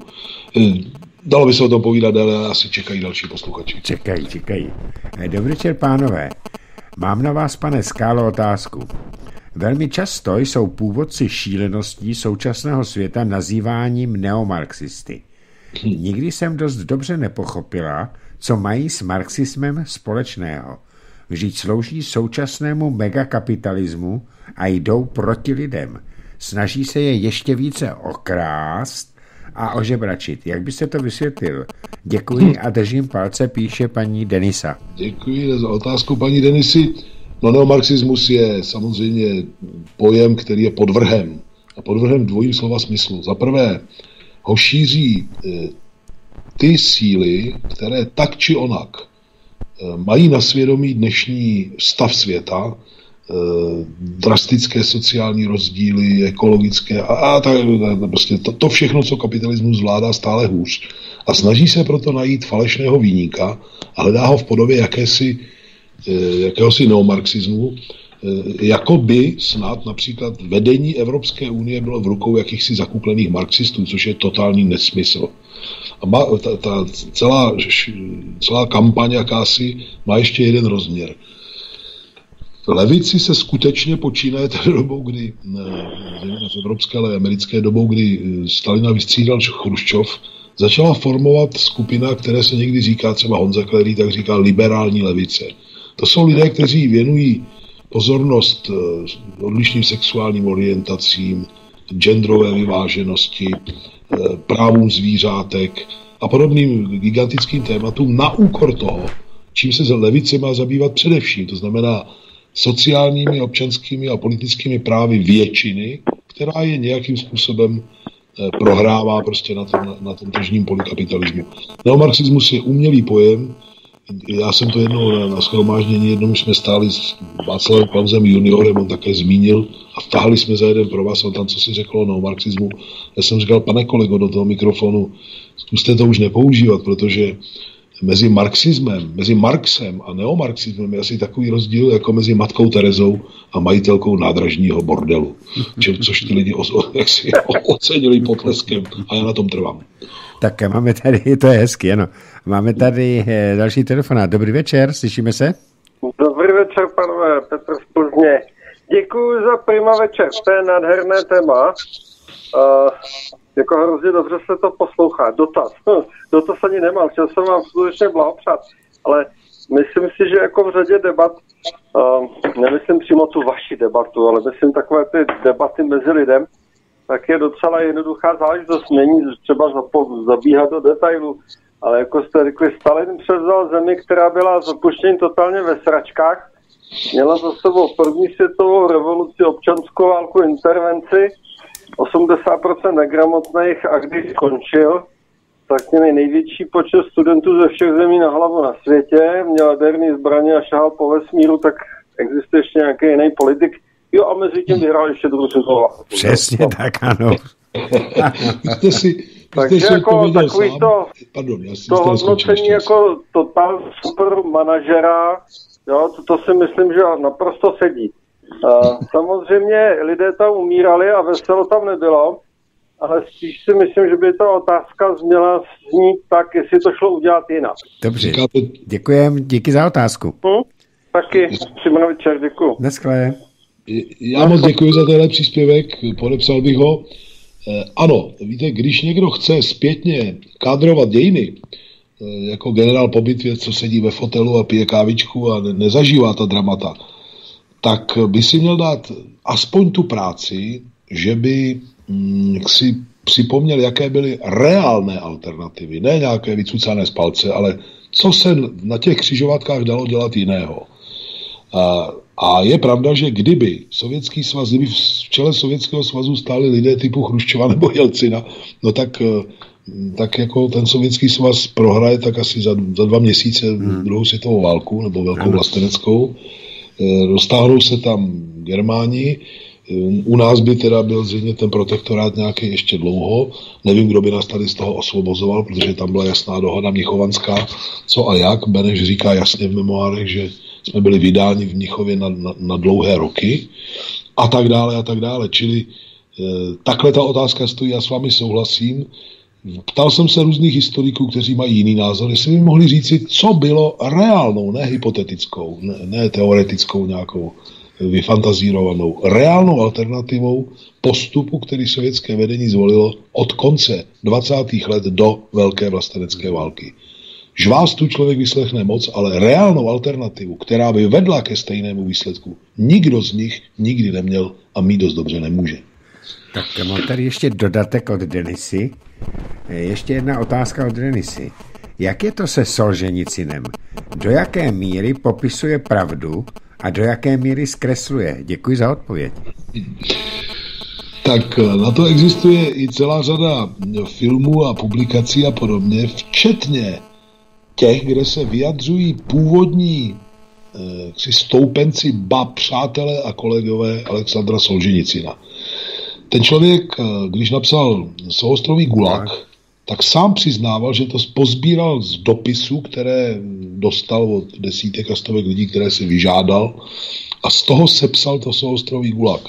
Takže eh, mohli se o tom povídat ještě dlouho, ale Aleksandr Solženicin byl velký fabulátor, naplněný těžkou nenávistí k sovětskému zřízení. Přitom za, za velké vlastenecké války to byl důstojník a byl jaksi internován za kroky, které by se trestaly v každé armádě bojující za války, prostě pomluvy vrchního velení a, a tak dále. To se v žádné armádě netrpí, za to bývá i poprava mnohde. On za to šel do basy a v té, v té base zdaleka na to nebyl tak špatně, jak to popisuje Silvestrový Gulag. O tom by se mluvit dlouho, ale nechci blokovat. Jsou na to dokumenty, pokud nám paní Denisa pošle adresu, já je možná někam mailem, mailem mohu zaslat. To by si asi musel do Švýcarska. A? Takže vemu další telefonát. Dobrý večer, slyšíme se, můžeme hovořit? Dobrý večer, tady Zdeněk eh, Karlovy Vary. Mohu hovořit? Ano, můžete, jste ve vysílání. Já bych se chtěl pana Skály zeptat. Za prvé bych mu chtěl poděkovat za objasnění počátku druhé světové války. Co se týče toho debaklu na začátku druhé světové války, jak sovětská armáda takhle ustupovala, eh, že to byl podraz, to je první věc. Ale na co bych se ho chtěl zeptat? Pan Skála zmiňoval eh, britského premiéra Churchilla, jak si vážil Stalina ale zároveň jsem se dostal k informacím, že pan Churchill na konci války v dubnu 45 plánoval za pomoci zajatých německých vojsk eh, operaci eh, Barbarossa 2, by se to dalo nazvat, eh, zpětnou operaci eh, proti Sovětskému svazu. Jestli o tom něco ví a jestli se k tomu může nějak vyjádřit. Děkuji. Vyjádřím se k tomu rád. To je skutečně jedna z nejtemnějších skvrn na velmi mimořádně rozporuplném životopise Winstona Churchilla.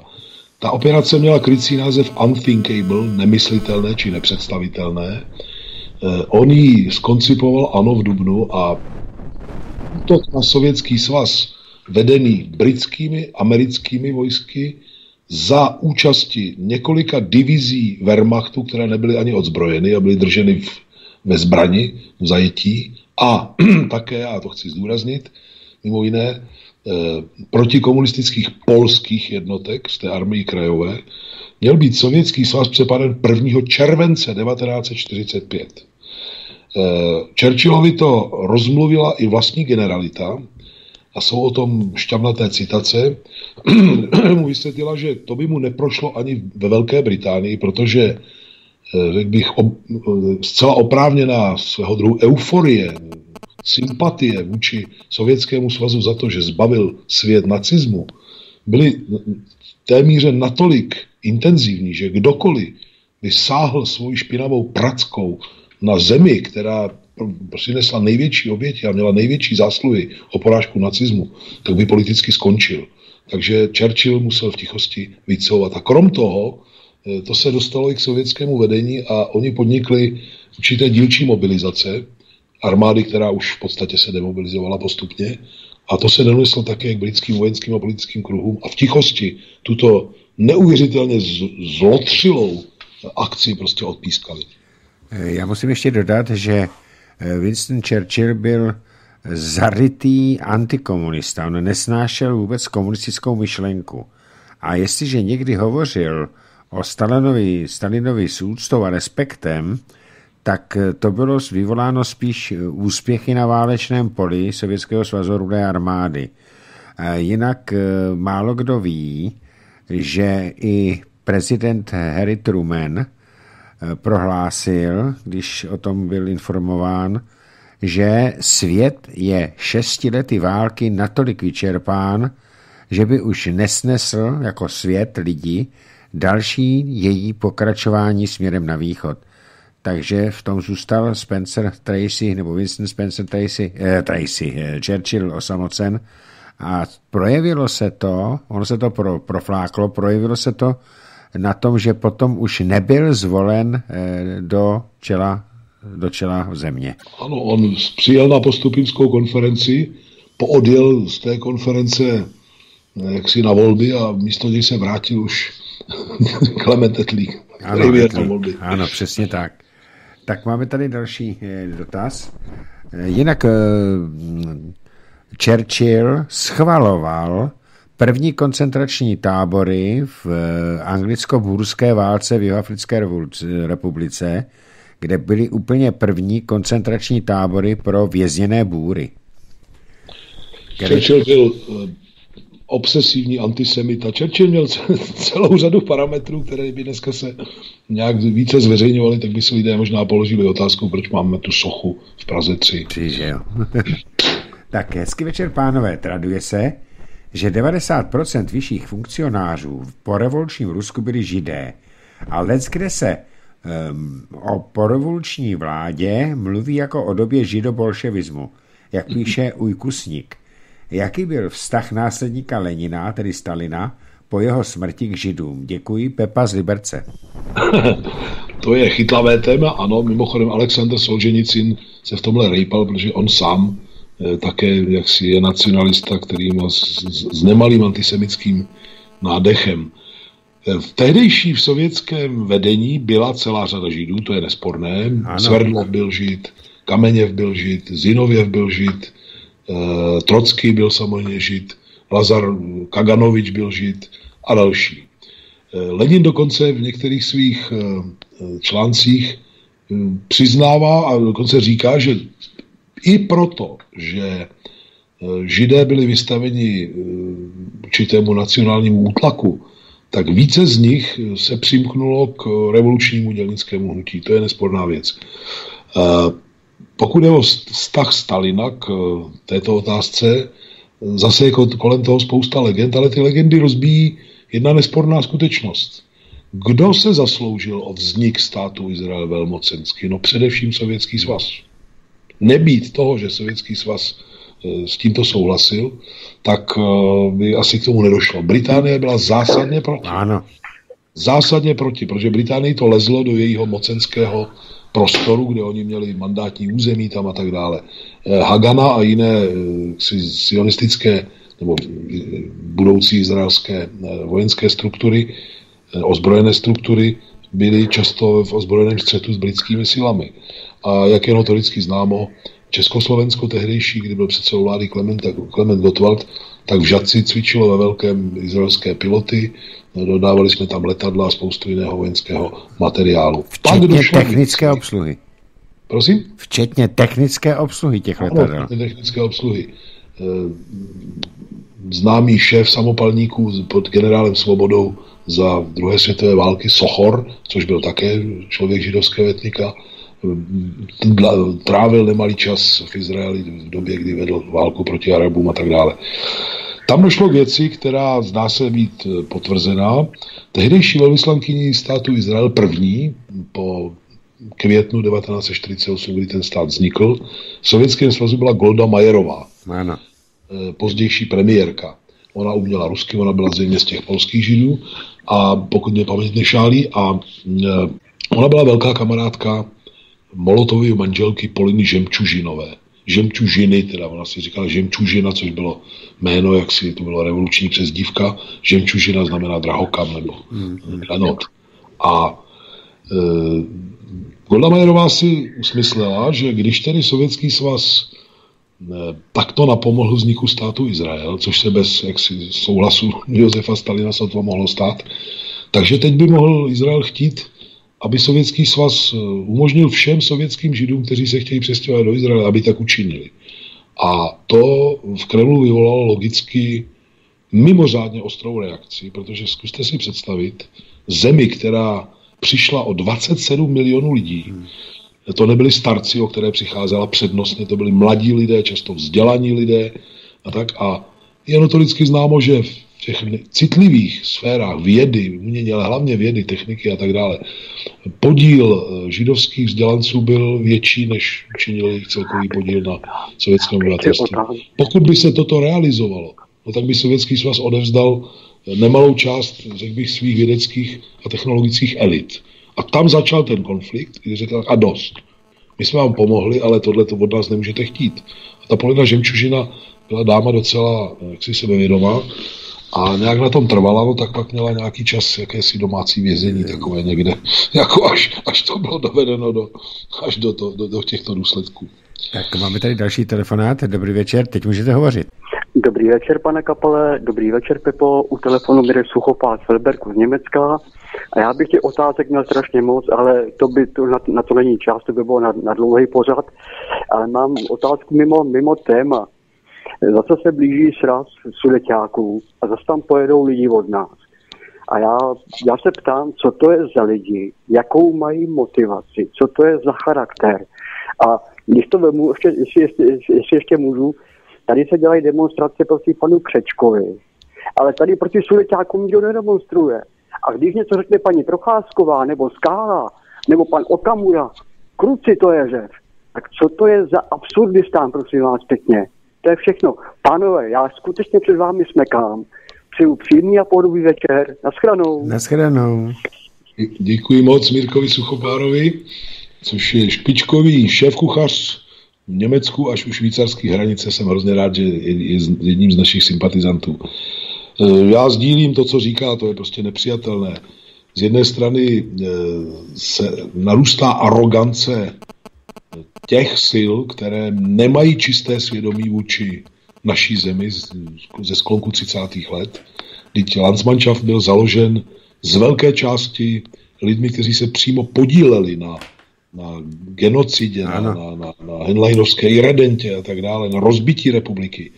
A popravdě řečeno, tyto motivy, tyto atavizmy eh, revanšistické, ten, ten Landsmannschaft nikdy plném smyslu slova jaksi neanuloval. Včetně majetkových nároků vůči naší zemi, které sice nakonec po dlouhých letech jakoby zrušil, ale soud, nevím, proč to dávali k soudu, soud to údajně neschválil. Čili oni tvrdí z jedné strany, že nemají majetkové nároky, ale z druhé strany jim to údajně soud, ano. německý soud jako neschválil. To jsou neuvěřitelné věci. Já souhlasím Bohužel je to tak, že poslední 30 let u nás eh, se střídají u moci především ti lidé, kteří jsou bonifikováni, sponzorováni a všelijak podporováni z o něch velmocí, jejich kolonií jsme se stali. Koloní v ekonomickém, ale i v politickém slova smyslu. A je velkým úkolem nezávislé české politiky sformovat takový blok, který nakonec tyto síly přečíslí s oporou v široké veřejnosti a vytlačí tam, kam si zaslouží. Pokud by to bylo nadále tak, jak to je, tak naše koloniální postavení bude naší zemi ubližovat stále víc. A bude to ještě horší, horší, až nakonec přestaneme být samostatnou kolonií, ale staneme se součástí nějaké evropské kolonie, součástí čtvrté říše, něco jako jsme byli za třetí říše protektorátem. Hmm. Tak eh, další Otázka. Dobrý večer, vážení pánové. Stalin nepochybně Sovětský svaz za rekordně krátkou dobu z feudální země vytvořil hospodářskou průmyslovou velmoc. To nemá obdoby. Poprosil bych ale pana Skálu, jak vidí působení Chruščova v bitvě u Stalingradu. Děkuji, Jirka Spardovic. Tak o tom je ten známý americký film, kde Chruščov je vylíčen jako člověk, který hnal vojáky hlava nehlava do útoku, i když třeba neměli ani eh, pušku v ruce a měli si ji pozbírat někde po cestě od mrtvých. Já ne, ne, nedokážu to posoudit, jestli to opravdu v té míře a do jaké míry to byla vina Chruščova nebo nebyla. To jsou natolik drastické epizody z dějin, které mohou mít i objektivní pozadí, protože Stalingrad bylo třeba ubránit stůj co stůj, byla to dopravní, byl to dopravní úzel, byl to bod, který kdyby byl vydán, tak skutečně k Wehrmacht se mohl dostat až ke zdrojům ropy a tak dále a tak dále.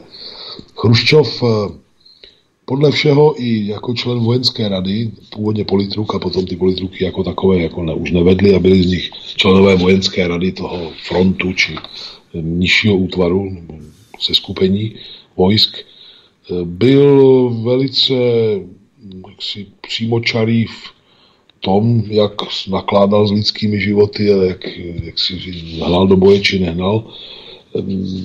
Nijak se neodlišoval od jiných a podle některých svědectví byl dokonce ještě mnohem, mnohem bezstarostnější v tomto směru, čili všechny jeho výkřiky po roce 53, kdy kádroval jiné a připisovali mu jaké zločiny, tak zrovna od něj jak si nesedí. To, možná to stačí takhle, protože to, to bylo na další debat. Ano, já jsem ten, bylo to ve více v knihách popsáno a to, že tam útočili ty noví branci, kteří tam přijeli ten den do Stalingradu a měl vždycky dva beně, neměli flintu, jenom jeden a ty si měli pod toho přebírat. To je pravda. Tak jdu na další otázku. Sláva rodu, zdravím všetkých. Neskutečně mě vytáčí v čilejší liberálně progresivní školství, z kterého by měl Trocký hafo radost. Za hm. mě je mi 44. To bylo jasně nalajnované. Jedne, jedničkáři a dvojkaři šli na průmku a dále, trojkaři a čtyřkaři na učňák a fajront. Fungovalo to perfektně ve všech oborech a profesích. Dneska chce mít kdejaká lopata titul, umí guvno, Rube montovně a i s titulem Hafo sa diví a volí Leo, neolevici či Babiša. Maras. Majte sa fajni. Martin ze Slezska. to je kouzelný dialekt, moc se mi to líbilo. Já a... jsem se snažil to číst tak, jak to bylo napsaný. Já mám rád eh, severomoraváky Slezany, oni mají známou schopnost se vyjadřovat velice lakonicky a šťavnatě, což pan kolega potvrdil tím, co říká, bohužel má pravdu. Školství nic nebylo bez nedostatku, i naše školství ze socialismu mělo svoje mouchy některé, ale s dnešním eh, simulací čehosi za strašný peníze a s děsivými důsledky se to vůbec nedá srovnávat. Hmm. Eh, bez, ne, na to nevyzní hloupě, ale my, když jsme chodili na gymnázium, tak jsme diskutovali o věcech a znali jsme věci, které dnes mnohdy neumí bakaláři a mnohdy magistři a mnohdy dokonce doktoři. Je Nemají tak. ponětí o tom, co my jsme řešili už na gymnáziu. Ano. Také jsme měli kulturní, řekl bych, eh, potřeby, co všechno jsme četli, o čem jsme diskutovali a podobně. To se nedá vůbec srovnávat. A chrlí, chrlí se to, a jak píše Honza Keller výstižně, ale je to v podstatě lék na nezaměstnanost, protože ty lidi tráví více roku eh, za peníze nás a svých rodičů a případně si někde přivydělávají. Pak mají jakýsi titul a velká očekávání, že z nich bude, já nevím, jaký šéf, ale mnozí z nich na to nemají a mnozí, i kdyby na to měli, tak se žádnými šéfy nestanou a vykonávají práci, na kterou to vzdělání vůbec nepotřebují. Mně se moc líbí, co teď navrhnul Robert Fico na Slovensku, nevím, jestli to posluchači stačili zaznamenat. Řekl, že když bude smer v ve vládě příští, teď po volbách za 14 dní. Aha. Takže on bude trvat na tom, že lékař, který na Slovensku vystuduje, Aha. Eh, tak eh, buď bude minimálně 10 let působit ve slovenském zdravotnictví, anebo odevzdá 55 tisíc euro jako náhradu za to, že za peníze daňových poplatníků se mohl stát lékařem. To si myslím, že je nejvyšší čas něco podobného zavést i u nás. Mimo jiné, tohle to navrhuje SPD Tomia Okamory. Ano. Tady u nás. Já jsem, já jsem pro mě, Vladimír, já jsem to navrhoval dokonce tajemníkům ústředního výboru KSČ v 80. letech Lete. hmm, v souvislosti s tím, že bychom mohli uvolnit cestování do zahraničí a pouze si vymínit státní záruky západních zemí, že ti, kdo by nechtěli zaplatit náklady svého studia a dokonce určitý díl toho výnosu, které to studio mělo přinést, protože to byla investice. Ano, ano. Takže by to za, zaplatila paní Thatcher, pan Kohl, pan, pan Reagan a další. Bohužel tehdejší šéfové UV strany mi vždycky říkali, že to není zlej nápad, ale že nějak, nějak se k tomu nikdy nedostali. Škoda. Tak eh, máme tady telefonát další. Eh, dobrý večer. Dobrý večer, pane Kapale. Přikláním se k tomu, co jste říkal, protože to už s manželem říkáme řadu let. Za studie se platit nemusí, ale musí je taky ten dotyčný, který dostal tu možnost studovat a vystudoval opravdu, tak aby taky to odvedl této společnosti, Přesně, ten svůj ano, díl. Ano. To je povinnost, si myslím, tak jako jsme, bychom měli být povinováni svým rodičům. Mnozí moderní psychologové berou, že paní, eh, jedna z těch starších paní psycholog, psycholožek že paní Šiklová, tak ta to bere jako, že lidi se nemají domáhat nebo rodiče svých práv, ale já si myslím, že ve slušných rodinách to bylo vždycky.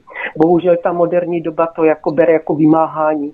Ale další věc, kterou bych chtěla říct, a to bych ráda, kdyby pan Skala se mi k tomu mohl vyjádřit, nebylo by od věci, když nám Evropská unie už začíná vyhrožovat Polákům, že bude dělat u nich pořádek, jestli by se neměli skutečně už ti pánové tady z těch našich bývalých jako postkomunistický stát, státu, pardon. Kromě Slovenska, tam to asi nebude mít úspěch, si dát hlavy dohromady a udělat si tu malou Evropu a pomáhat si hospodářsky. A myslím si, že bychom to utáhli. Můžeme být klidně Evropa druhého stupně, ale ať jsme sami, ať nám nikdo nediktuje. Hmm, hmm. Toto by možná bylo v této situaci rozumné. Udělat takový malý poloevropský Brexit. Stálo by to za to. Děkuji vám pěkně. Naschledanou, hezký pořad. Naschledanou.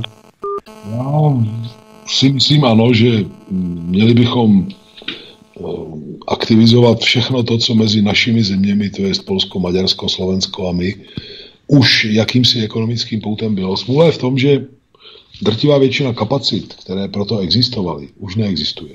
Prostě byly tou kolonizační politikou západních zemí eh, buď přivlastněny někým a ten si to si přizpůsobil k obrazu svému a ke, ke svým cílům, anebo dokonce zdecimovány, protože představovali nějakou konkurenci. Já osobně bych tu myšlenku bral e, s tím, že každý z těch států, a samozřejmě hlavně my potřebujeme v České republice, měl, by měl začít pracovat velmi intenzivně na obnově ekonomické suverenity, to znamená na, tak, na zakládání nových e, kapacit, e, investičních celků, komerčních průlomů a technologických průlomů, které nás vrátí eh, mezi extraligu nebo do extraligy světové, kde jsme už v řadě oborů byli a možná v některých už nikdy nebudeme, ale jsou jiné, kde bychom mohli být jsme země s průmyslovou tradicí a kulturou a snažme se o to sami a v míře, v níž si můžeme pomáhat v tomto bych, regionální seskupení té samozřejmě proč ne, abych to velice uvítal. Tak eh, vážení přátelé, vážený Pepo Skálo, protože máme po 21. hodině, tak dneskní pěkné, velmi pěkné povídání, aspoň z mé strany to bylo velmi pěkné povídání, je u konce. Já se omlouvám, velice se omlouvám všem, na které se nedostalo, protože tady mám, mi svítí, že jsem nepřijal 6 eh, hovorů a 21 SMS, takže eh, ono se to nedalo zvládnout všechno, takže se omlouvám, ale já mám v plánu požádat pana Josefa Skálu za nějaký čas opět o podobný pořad, kde bychom navázali na ten dnešní, protože to je velmi zajímavé povídání a nikde jinde než na Svobodném rádiu se tyto problematika neřeší. A já si myslím, že to je škoda, že to je přímo zločin, protože to je kus historie a historie se ohýbat nemá. Takže asi takhle bych eh, vás odkázal na příští pořad, který se eh, s panem Skálou eh, dohodnu a věřím, že k nám Pepa přijde zase rád. Velice rád, Vladimíre, a dokonce, jestli chceš, tak tezauruj ty ty eh, dotazy, které tam jsou, na které jsme nestačili dneska odpovědět a pokud eh, to můžeme vzít za jeden ze základů toho budoucího pořadu, velice rád se k tomu vrátím. Dobře, já to, to takhle, to bych si je musel všechny obsat, protože mně sem chodí takových SMS každý den při každém pořadu, že se v tom za chvilku nevyznám. Jo, takže bych si je musel sednout a přepsat si je. Včetně telefonních čísel a to na mě nechtějte moc práce. Tak dobře. Takže posluchači jsou na to zvyklí, ono do každého rádia, když se volá nebo píše, tak ne na všechny se dostane, protože ten čas je omezen. Takže Pepo, já ti děkuji, že jsi si na nás udělal čas. Já se zase e, za nějakých 14 dnů ozvu, protože to je velmi zajímavé téma a jak vidíš, ohlasy jsou na to velmi příznivé. Děkuji moc za pozvání a budu se těšit na další tady, pořad. Teďka mi tady vyskočila sms -ka. E, pánové, Pořad výborný, díky vám oběma, Jirka z Pardubic. Takže díky, díky. Jiří z Pardubic, děkujeme za uznání. Pepo, eh, já ti přeju, aby se ti dařilo v tvé publikační činnosti i v tvé politické práci a protože do toho sjezdu ještě daleko, tak se o tom ještě určitě pobavíme. Teďka ti přeju hlavně hodně zdravíčka eh, a vůbec všechno nej. A díky, že jsi si na nás udělal čas. Děkuji ještě jednou za pozvání a těším se na příští pořad. Takže vážení přátelé, já vám přeju ze studia Beta a pan Bezef Skála určitě taky dobrou noc. A my si teď pustíme, my si teď pustíme Karla Kryla, Sametové jaro, dalšímu studiu Soborného rádia. Ze studia Beta to bylo pro dnešek vše.